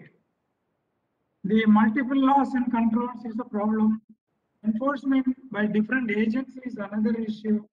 Different quality standards and requirements are another problem inadequate testing and inspection facilities, inadequately trained manpower, non-harmonization of the food safety standards with international perceptions and traceability, multiple FMS system in operation in a country. This is another problem faced by India because so many FSMS programs were operating in, a, in the country. So the mechanism of uh, regulation becomes a difficult process. There was need to remove the uh, multiple regulations and harmonize with international laws. It is very important. Also framing regulatory requirements based on the science-based analysis, facilitating trade without compromising consumer safety and many others like that. So this is the thing what I was saying, multiple food safety certification system operating between 2005 and 2015 in India. are These are the five, five or six uh, certification system which are operating. But when you compare to the previous um, act, PFA Act of 1954, to the present Act of Food Safety Standards, uh, which came into being in 2006. In the previous act, all the manufacturing uh, units were under local authorities no provisions for improvement notices. GMP and GHP were not mandatory. There was no punishment for wrongdoers, no regulation on imports, which has been totally transformed into uh, in the new concept. The big, big manufacturing uh, places that came under the Central Licensing Authority of FSSAI in New Delhi compulsory pre-inspection before giving a license, good manufacturing practice and good hygienic practices become mandatory as per Schedule 4, fine and penalty through adjudication or punishment through court, special import regulations uh, came into existence. So these are some of the notable um, uh, notable um, points in the latest regulation as a follow-up of this, in 2016, Food Safety Standards Act came into existence. It was enacted by Government of India on 24th August 2016 for implementation and enforcing of this act, the Food Safety Standards Authority was constituted and came into existence in 2008. And the role of this organization was for registering and licensing food business in the country and is headed by the CEO who heads the FSSI and have control on the food safety commissioners uh, placed in all the 29 states and 9 union territories across the country. And the day-to-day activities and registration are governed by these commissioners through uh, local bodies and the food safety officers under the de designated officer under the commissioner will perform the normal duties of inspection, licensing and things like that. Another important thing which was um, essential for having a food safety control is the regulation and the uh, rules and regulations. The FSSI brought in a lot of scientific bodies in line with the product, product-based, commodity-based panels, scientific panels were brought into place, developed a code of practices for each commodity which is available in the website of the uh, Government of India. It is established uh, laboratories in, in, line with the ISO 17025, which is the basic requirement for checking the commodities, whether they are meeting the uh, required standards as per the international requirement. They came into existence so what happened as a result of this, the Food Safety Standards Authority brought in three level laboratories in the country. The primary food uh, laboratories uh, uh, notifies the laboratories and research institution accredited as per ISO 17025 by an accredited agency for carrying out regular food analysis on the uh, samples meant for export or for domestic purpose. Presently, there are about 190 uh, food testing laboratories uh, under Food Safety Standards Authority of India. And the second line of um, um, laboratories are referral food laboratories. There are uh, they are to carry out analysis on the appeal sample, which are under uh, case or which are confiscated by the government. There are presently 19 referral labs established in the country.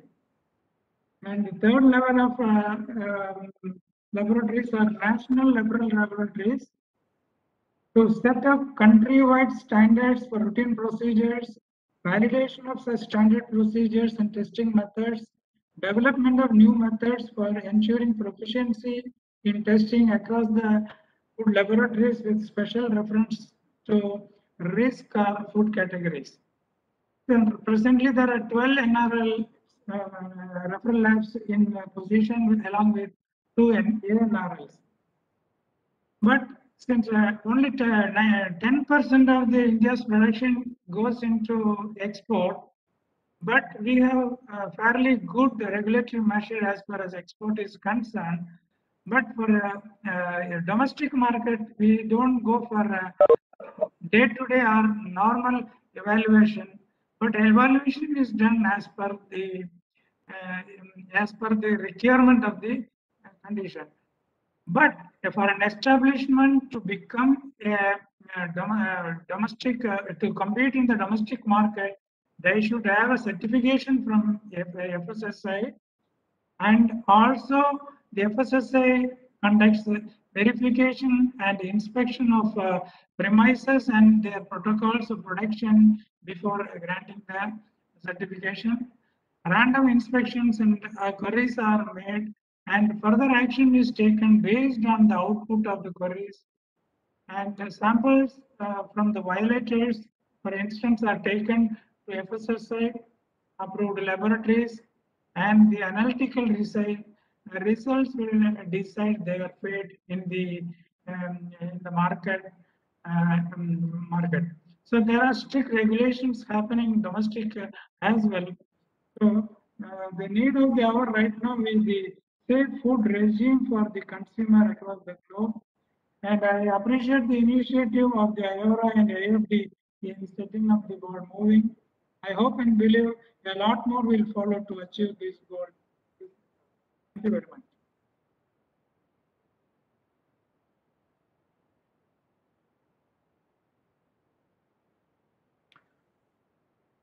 Um, thank you. Thank you, Dr. Sankar, for that presentation and covering the, the situation of India. And now, participants, we've reached the closing sector of the webinar. And I would uh, like to welcome some questions from the participants. And I suggest that you write it in the chat box, lift your hand up, and then we can respond to it.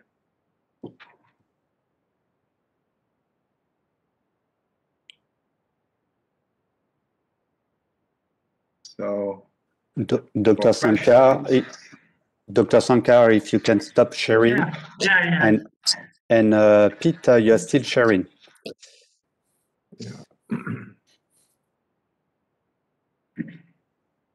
Uh, okay.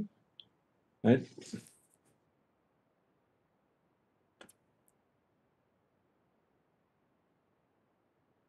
So for the question, if it's uh, possible to put a hand, uh, hand on, um, or to write the question in the chat, we are going to, to check.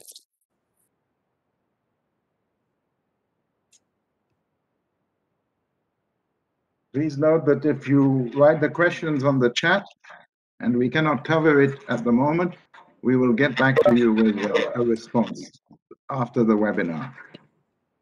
We'll try and take as many as we can now, but should not, that not be possible, we'll respond uh, subsequently via email. Any questions?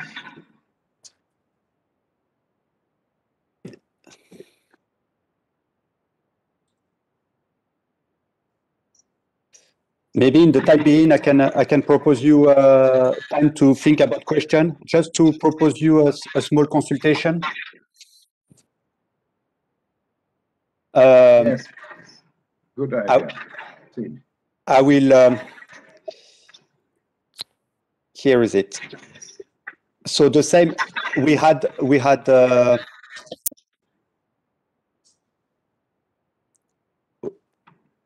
yeah, I think you see my, you see my screen. Um, sorry, up. So we will have, uh,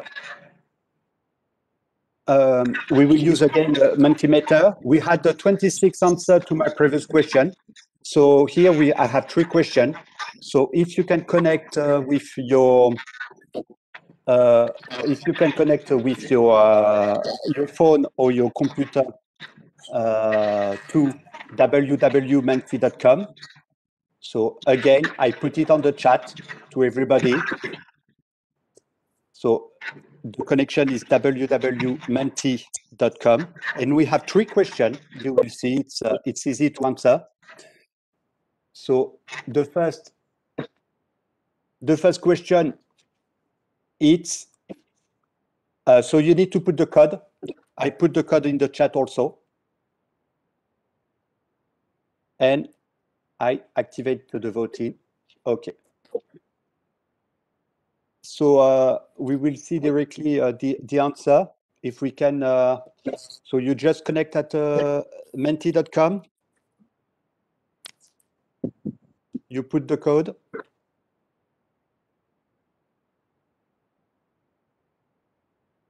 Back. If there is some issue, just tell me.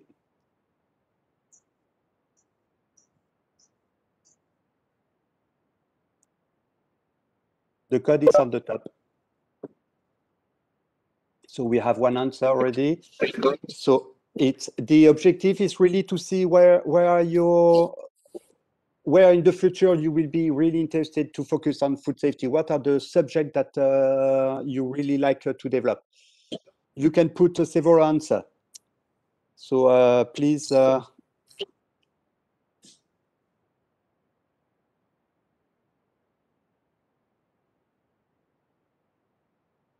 so just connect. Uh, the code is 4355. 8041. You just have to put the code when you connect to uh, menti.com.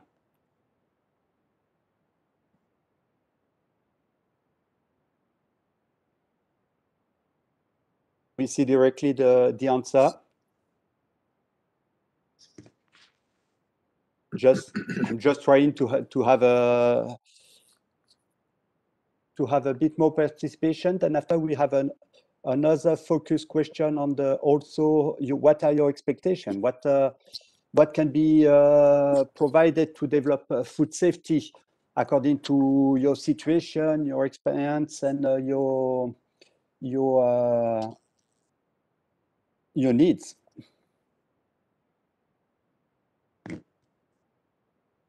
So we see that it really focuses on EU, US market. We have the quality management element for aquaculture also. But EU, US market and export requirement together, they are represent more than 40% of, uh, of the food safety concern, it seems. Just a few more votes. And uh, we can move to another question.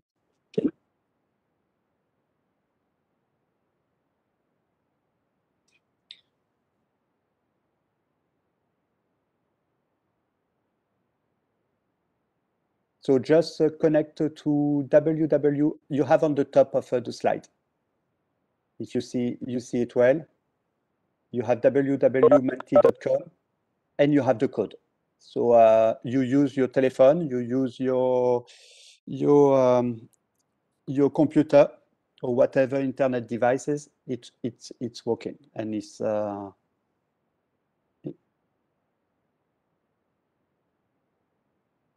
So let's move to the second question.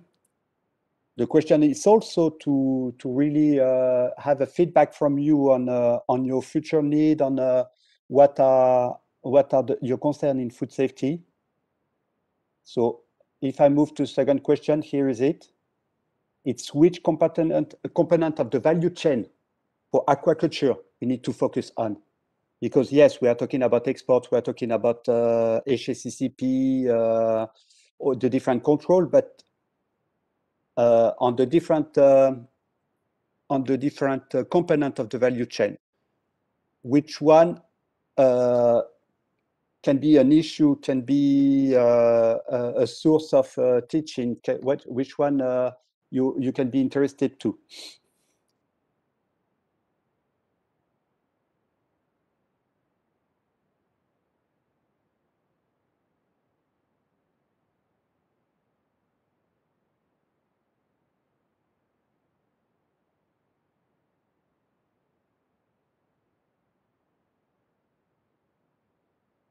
So for all the food safety, so local, uh, export market, uh, all the different hazard that can uh, get that can that can, can go to the product, that can have an impact on the product, that can, can have an impact on the business of aquaculture because aquaculture is still an activity to uh, a business activity. So just uh, for you to um,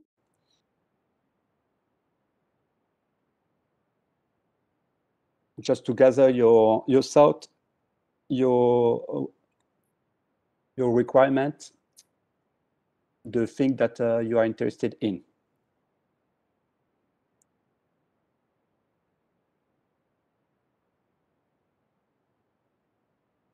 So for the one that join right now, you can still join. You put uh, www.menti.com and the code is 43558041. It's in the chat and it's also uh, on the top of the slide, just in front of you.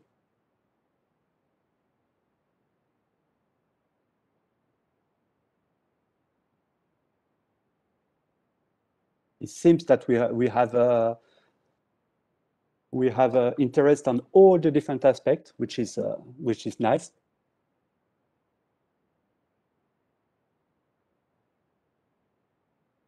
Hatchery and processing and farm. In fact, there is no big big differences. They're reaching 20%. So we let's move to this, the third question. Uh, and that is also the same thing to, to gather your, your feedback, your, um, uh, in fact, no, more than your feedback, in fact, your, your expectation on, uh, on possible uh, focus for the future on food safety because we talk about a lot about export market, but food safety is also local market. So uh, between export, local market, the, all the action from the component, uh, the competent authority, uh, all the public sector in general, which is education and so on, all the aspect of uh, legislation, regulation, and also how you chair the different uh, responsibility, the different action in uh, the food safety uh, management at the level of a country, the food safety management. So which part you would like to focus on? This as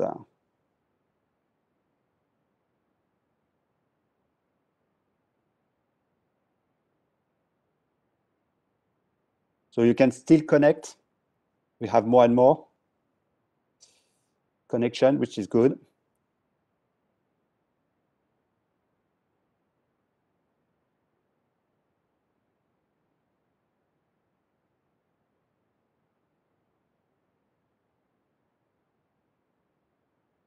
So this was the, the last the last question. So we just after we move back uh, to the general question to to the uh, from the presentation from the all the questions where we can bring uh, an answer right now and to take uh, the opportunity to be all together to uh, to to chair to chair and uh, to bring uh, more more information more more precision if from the presentation but also from the concept of food safety in general so I'm closing down the vote.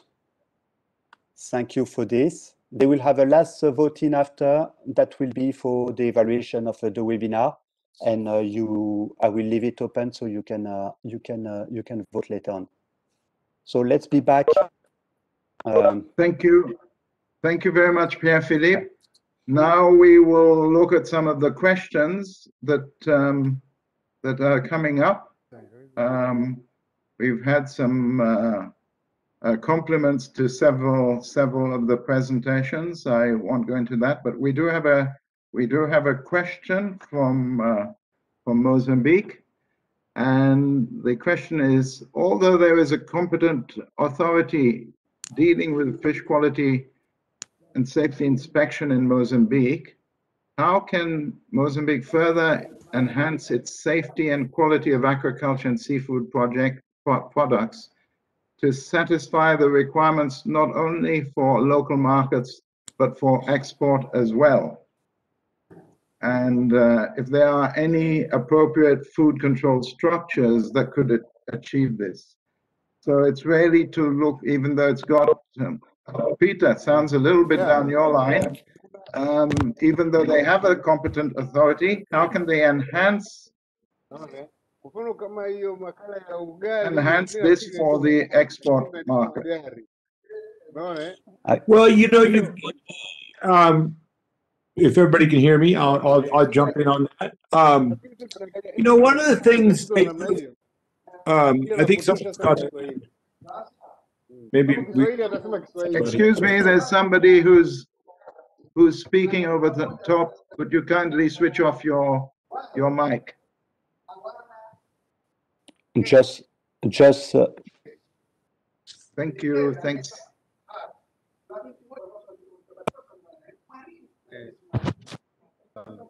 Sorry peter just uh, put uh, your mic uh, can you switch your mic on? Uh, sorry. I have switched my yeah. Yes. Could, could the person who is making who's chatting in the background please uh, no.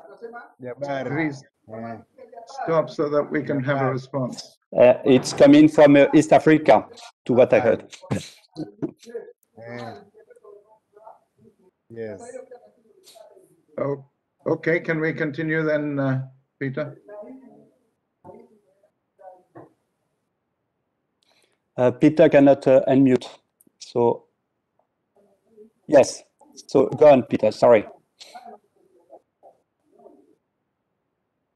You can unmute now. Okay. Hi, hi. Kali sasa hivi. Uh, um, yeah, I'm sick. It was still a lot of the interference in the background. Sorry, I don't know if anybody can hear me well enough. Um, okay, so then if I could just jump in there. zaidi. I think uh, Hey, Eh, in fact, so I think uh, Mr. Mr. Kawiche, Daniel Kawiche, Vijana sasa hivi ndio wanaelewa hiyo. List, eti list. uh, Mr. Ka- Kayuche. So I, I will. Ah. I'm sorry, I cannot uh, mute uh, Mr. Kayuche. Kawiche, if you can just put your mic off.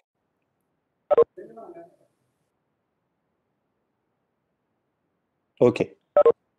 Peter, please uh, go on, or uh, I can bring also a, a, a, a part of answer if needed for Mozambique Yeah, question. I'll, I'll I'll segue into you for sure because I think you're. But you know what? I think what you would want to do is is that two things. Let me they answer that question in two parts. First of all, is that there's a real difference between sort of private standards and the import export uh, standards when it comes to food quality safety inspections. And so one of the things you want to look at is sort of what's driving the private sector. So the private sector not only has sort of the minimum requirements that it would be, uh, you know, from, from a veterinarian certificate to safe for human consumption, but you want to be able to drive the industry forward and looking at sort of like what is the on the ground realities of the private sector and what uh, quality do they have to perform? For instance, is there retailers that require a certain um, different level of of bacteria compared to what is the standard international level? And so I think moving the the the sort of the standard operating procedures more towards practical everyday solutions on what would what is the actual you know where are active country uh, companies exporting currently? Where do they want to export? And then what are those requirements so the competent authority is is proactive in in terms of sort of being the guiding light or the guide so that you you make the competent authority more of a reference source so that com- companies can look towards exportation and I and think Pierre Philippe, you can Pierre Philippe Yes. I can I can go further because uh, the question is uh, how the competent authority institution in Mozambique uh, can deal with uh, enhance uh, safety and quality of agriculture and seafood product for the requ- uh, to satisfy requirement uh, for export market. And I, I have to answer, it's already the case. Uh, there is a very good uh, there is a very good uh, competent authority. So it's the INIP. Uh, I can see that uh, at the webinar right now, there is some uh, former colleague of INIP which are connected. So uh, it's INIP is uh, Instituto Nacional de Inspección de Pescado, which is the competent authority of Mozambique. And Mozambique have already the authorization for export for Europe and for United States, which are, they are already doing for aquaculture products. So uh, to, to answer to the question, it already exists. And they are already uh, managing to, to put the standard, to control the standard, to, to comply to, inter, to, to export requirement.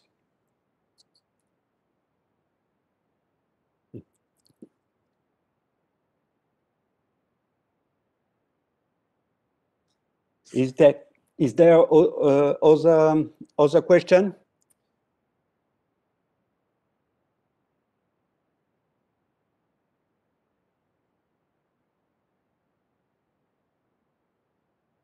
Uh, you are you are muted, um, Aubrey. If you can uh, activate your mic.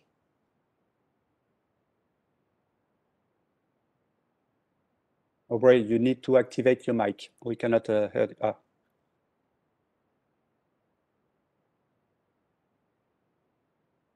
Aubrey, we cannot hear you.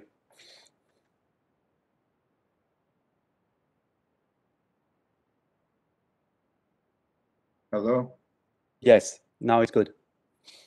What is the financial viability growth rate for fish species as compared to prawns, etc.? This is a, a general question from the group. Uh, a financial viability of growth rates for fish as compared to prawns. Well, Bit of we a, have bit of a general question for you. we are a bit uh, outside uh, food safety, except that uh, but it's one one of the strengths of uh, all the IORA countries, uh, the climate. So good temperature, so uh, the animal are growing quick in comparison to other model of aquaculture in uh, in uh, in climate uh, uh, colder.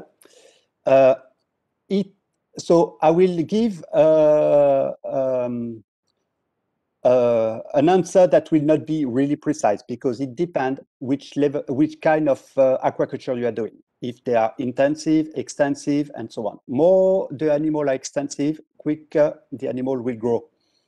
So less the less the if you concentrate the animal, you will reduce the growth rate.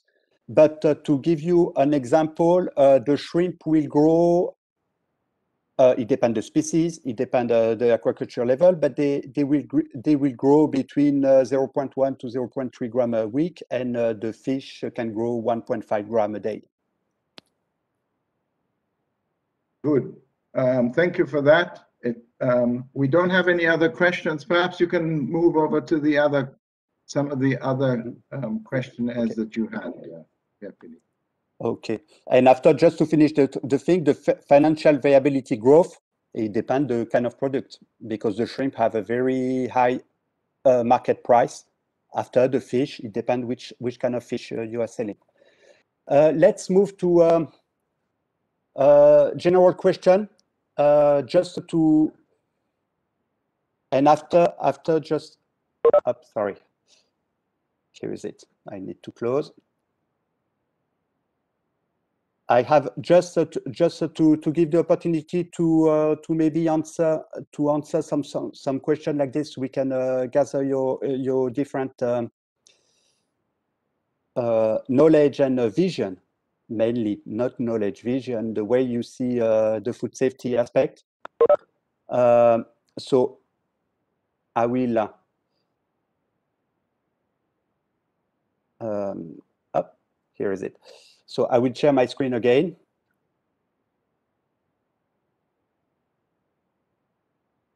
If I can manage, yes.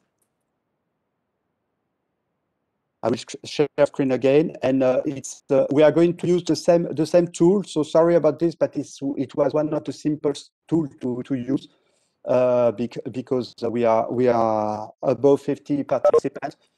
So if you look uh, if you look at the the document, uh, we have four questions. Same, same thing. We are we are just uh, use uh, menti.com the same way, and um, and we are going to move uh, quicker because now you are a bit used. The code is I put it on the chat. It's eight zero. It's written on the top of uh, the document if you can see it. Five five. Uh, 801892. And this is to describe what is food safety for you. So this it's a good uh, it's a good way to make a, a general uh, a general photo of this uh, webinar. So because we will have all your your your so I put the code. Uh, we will have all all your um, your feedback, your the way you see food food safety. What come and the code code is, here is it. You have it on the chat if you need.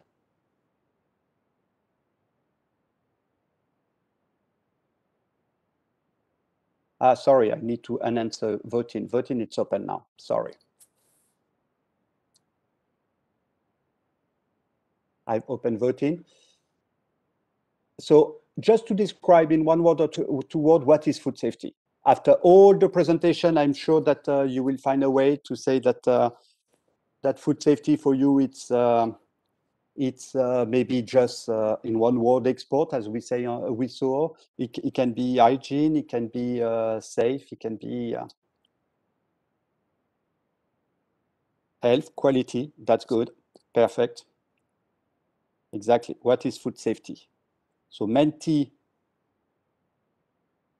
as is written on the top,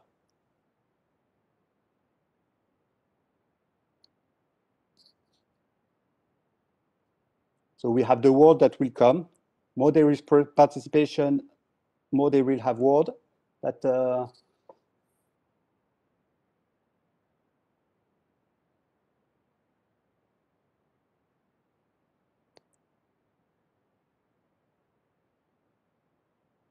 So it can be what are the consequences, what are the prerequisites, what are the output of food safety. You can uh,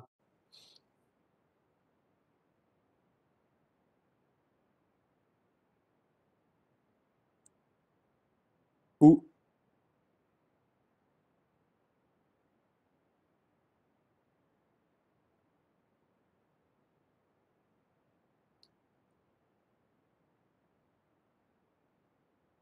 So it's health that come in safe and quality, which are the, the core. Hygiene a bit behind.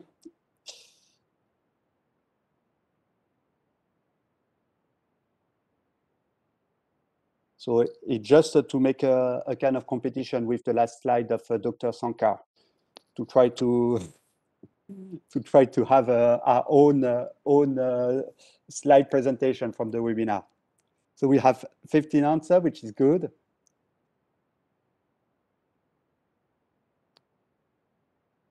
It can be negative, huh? If you can put constraint, uh, you can put uh, all. Uh, we're going to move after to the next question. Just to go quick and after because it's the end. It will be a good conclusion. This is for national food safety. For national food safety, or between all these sentences, do you agree or you don't disagree? You don't agree. You just have to move the, the to put a mark between one and five. You say, okay, national food safety, it's a direct responsibility of farmer and fish wholesaler? Yes or no? More food safety issue, there is more fish food, food safety issue in capture fishery than aquaculture. Government legislation and regulation. It's one of the main component of national uh, food safety. So there is not only farmer and fish uh, wholesaler responsibility. It's uh, it directly concerns the, the competent authority when you, you heard about national food safety, you think about laboratory, facility, or you think about awareness.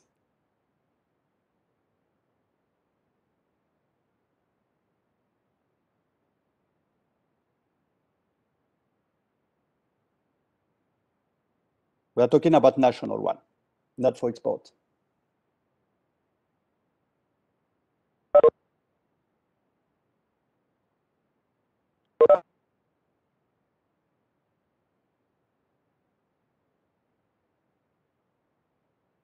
I see. It's always very interesting to to have uh, the feedback because you are you are all specialists and uh, in your field. I see that 60% uh, were from uh, government institution and 30% uh, were from private sector. So we have both represented. So I think it will impact some of the question right now, and this is interesting to to to have this feedback instead of having having the feedback of uh, to having a feedback from uh, from far. Directly we, we can have it. I like the the the answer from capture fishery and aquaculture which is a bit more than the half to say that there is uh, there is more issue in capture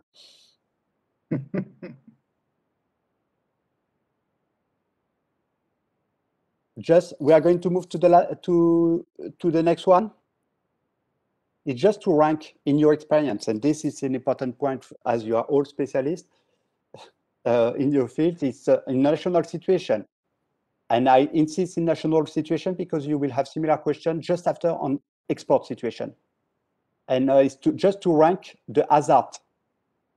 Uh, sorry no no uh, yes in your national situation. Now i i, I insist sorry to export what are the hazards that are important for food safety for export? There is some that uh, that should less appear less than other one. And just to rank, what is the main the main uh, concern?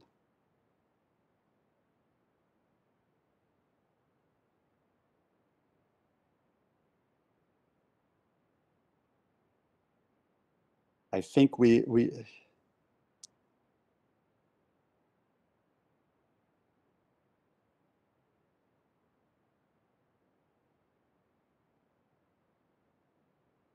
So just to have uh, some vote. Then after,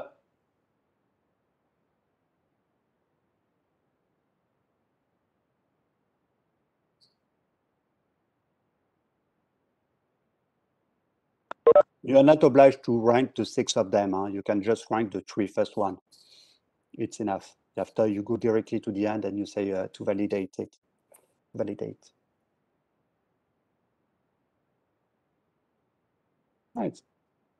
To find uh, viruses, parasite, and uh, parasite and toxin at uh, second place.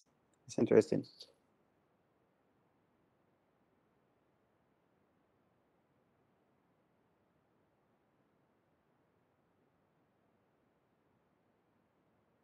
Thank you. That's um, it. Thank you. Philippe. Yes. Can we, I, I give you the floor. If you want to make a the the, uh, the if we don't have We- other we- question, we can go for the evaluation. yes, we do have another question Okay, here. It says, um, uh, how should research be organized between private sector and government? That, for example, to conduct research to improve food safety in aquaculture. It's a, it's a question that comes from the Seychelles. Mm. How should research be organized, the split between private sector and government for research in food safety in aquaculture? So this is a good question because um, uh, for many countries, aquaculture is a new, new activity, uh, and uh, we have some good example in the IORA country. What uh, what happened in uh, Madagascar, in Mozambique, for example. I'm talking about some case uh, where where I, I, I had to deal with, where there was really a kind of connection between private sector and government, and this uh, this uh, working hand uh, hand in hand for sector development is always better. So my first answer will say to be organized first is to to to to to let open all the cooperation uh, possibilities between uh, government and uh, and private sector. This is the the first point. After there is some responsibility, and uh, you we saw in the presentation that uh, food safety have some uh, responsibility first in means and in result for the private sector, and in facilitation and control for the government. So the government also have a role of uh, support development of the of the of the sector. So we can uh, we can be based on this responsibility, in fact, to make the chair because uh, we cannot put everything in hand of one of the actor, as it's a cooperation food safety. I, we have Dr. Sankar, which is a hand up that I think we can bring some additional uh, answer on the Indian case. because uh, he's it's really his field, research Dr. sankar can you help, please? He have a hand on. He's asking for the floor.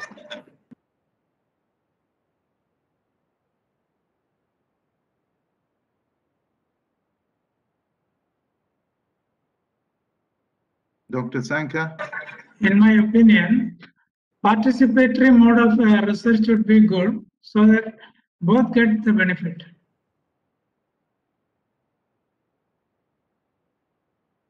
Okay, good. Okay. So basically, there's a role for both. Yes. Um, there's a role for both uh, government and private sector. Um, I guess in due course that could be teased up. I guess it depends on the very specific situation of the country involved. Good. Thank you. Um, Pierre Philippe. Uh, yes. And do you have the final question to be provided? In fact, the so first, uh, yes, is to, to thank you for all your participation. I will ask, ask you for a last, a last point, which is uh, to to let us know how you, how was the the webinar, how was the presentation. So this evaluation, uh, this evaluation part, I will share uh, last time my my screen for this. Uh, I will let it active. So like this, you can uh, you can uh, vote even uh, in 10 minutes. It's not a problem. So let me uh, share the screen. So like this, you can. Um, some general question on the on the on the the webinar. So to have, sorry, to have your feedback uh, on the evaluation. So there is six questions that you can rank between uh, poor of you to excellent plenty. So uh, I will not uh, I will not induce the kind of voting, but the first question is quantity of information, new information and useful information that you you got from this. So as you are specialist, there is maybe more useful than you. New uh, general speaker knowledge of the topic general speaker presentation skill and animation, how it uh, it was dynamic and uh, and presented, general content of the slide, how did the session uh, compare to your expectation? Because it's a webinar on a on a broad subject, so uh, between your expectation and uh, what was the the result, and a general mark of uh, overall session evaluation. So uh, between one, which is poor, to to uh, excellent or plenty. So I let you, I let it open. Uh, no, sorry, you don't have access. I, I need to put access. Sorry, I need to move here. You don't have access. That's why there was no. Here is it. Now you can. So the code, I put it on the chat. The code um, it's again menti.com the same. I'm doing a kind of advertising for menti.com today. Uh, there is other one huh? uh, i activate the voting. Here the voting is activate activated and uh, i put the code everything on the chat. So again uh, www.menti.com and code is, and like this you can, the, uh, 52780443.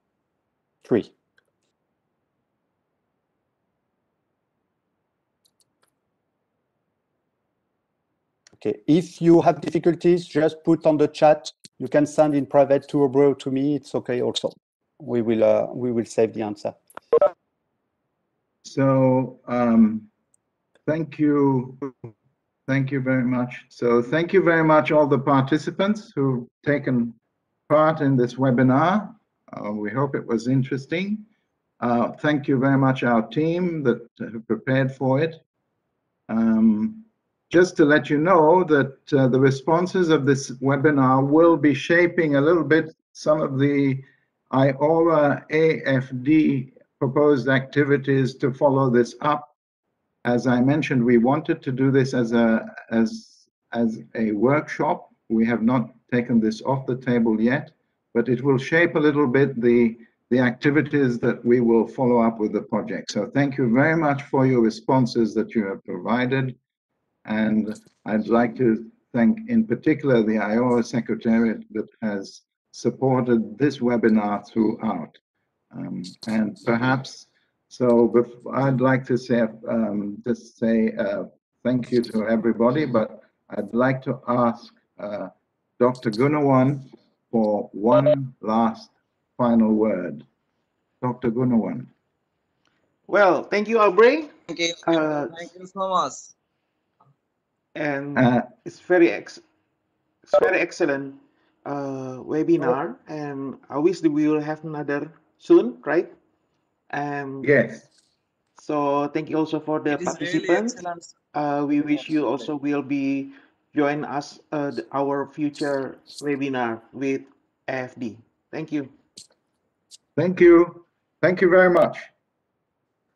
Thank you. Thank you, everybody. Thank you. I I I just stopped the, the screen sharing, but you can still continue to vote if you want. Thank you. Thank you. You have the access. Thank you very much.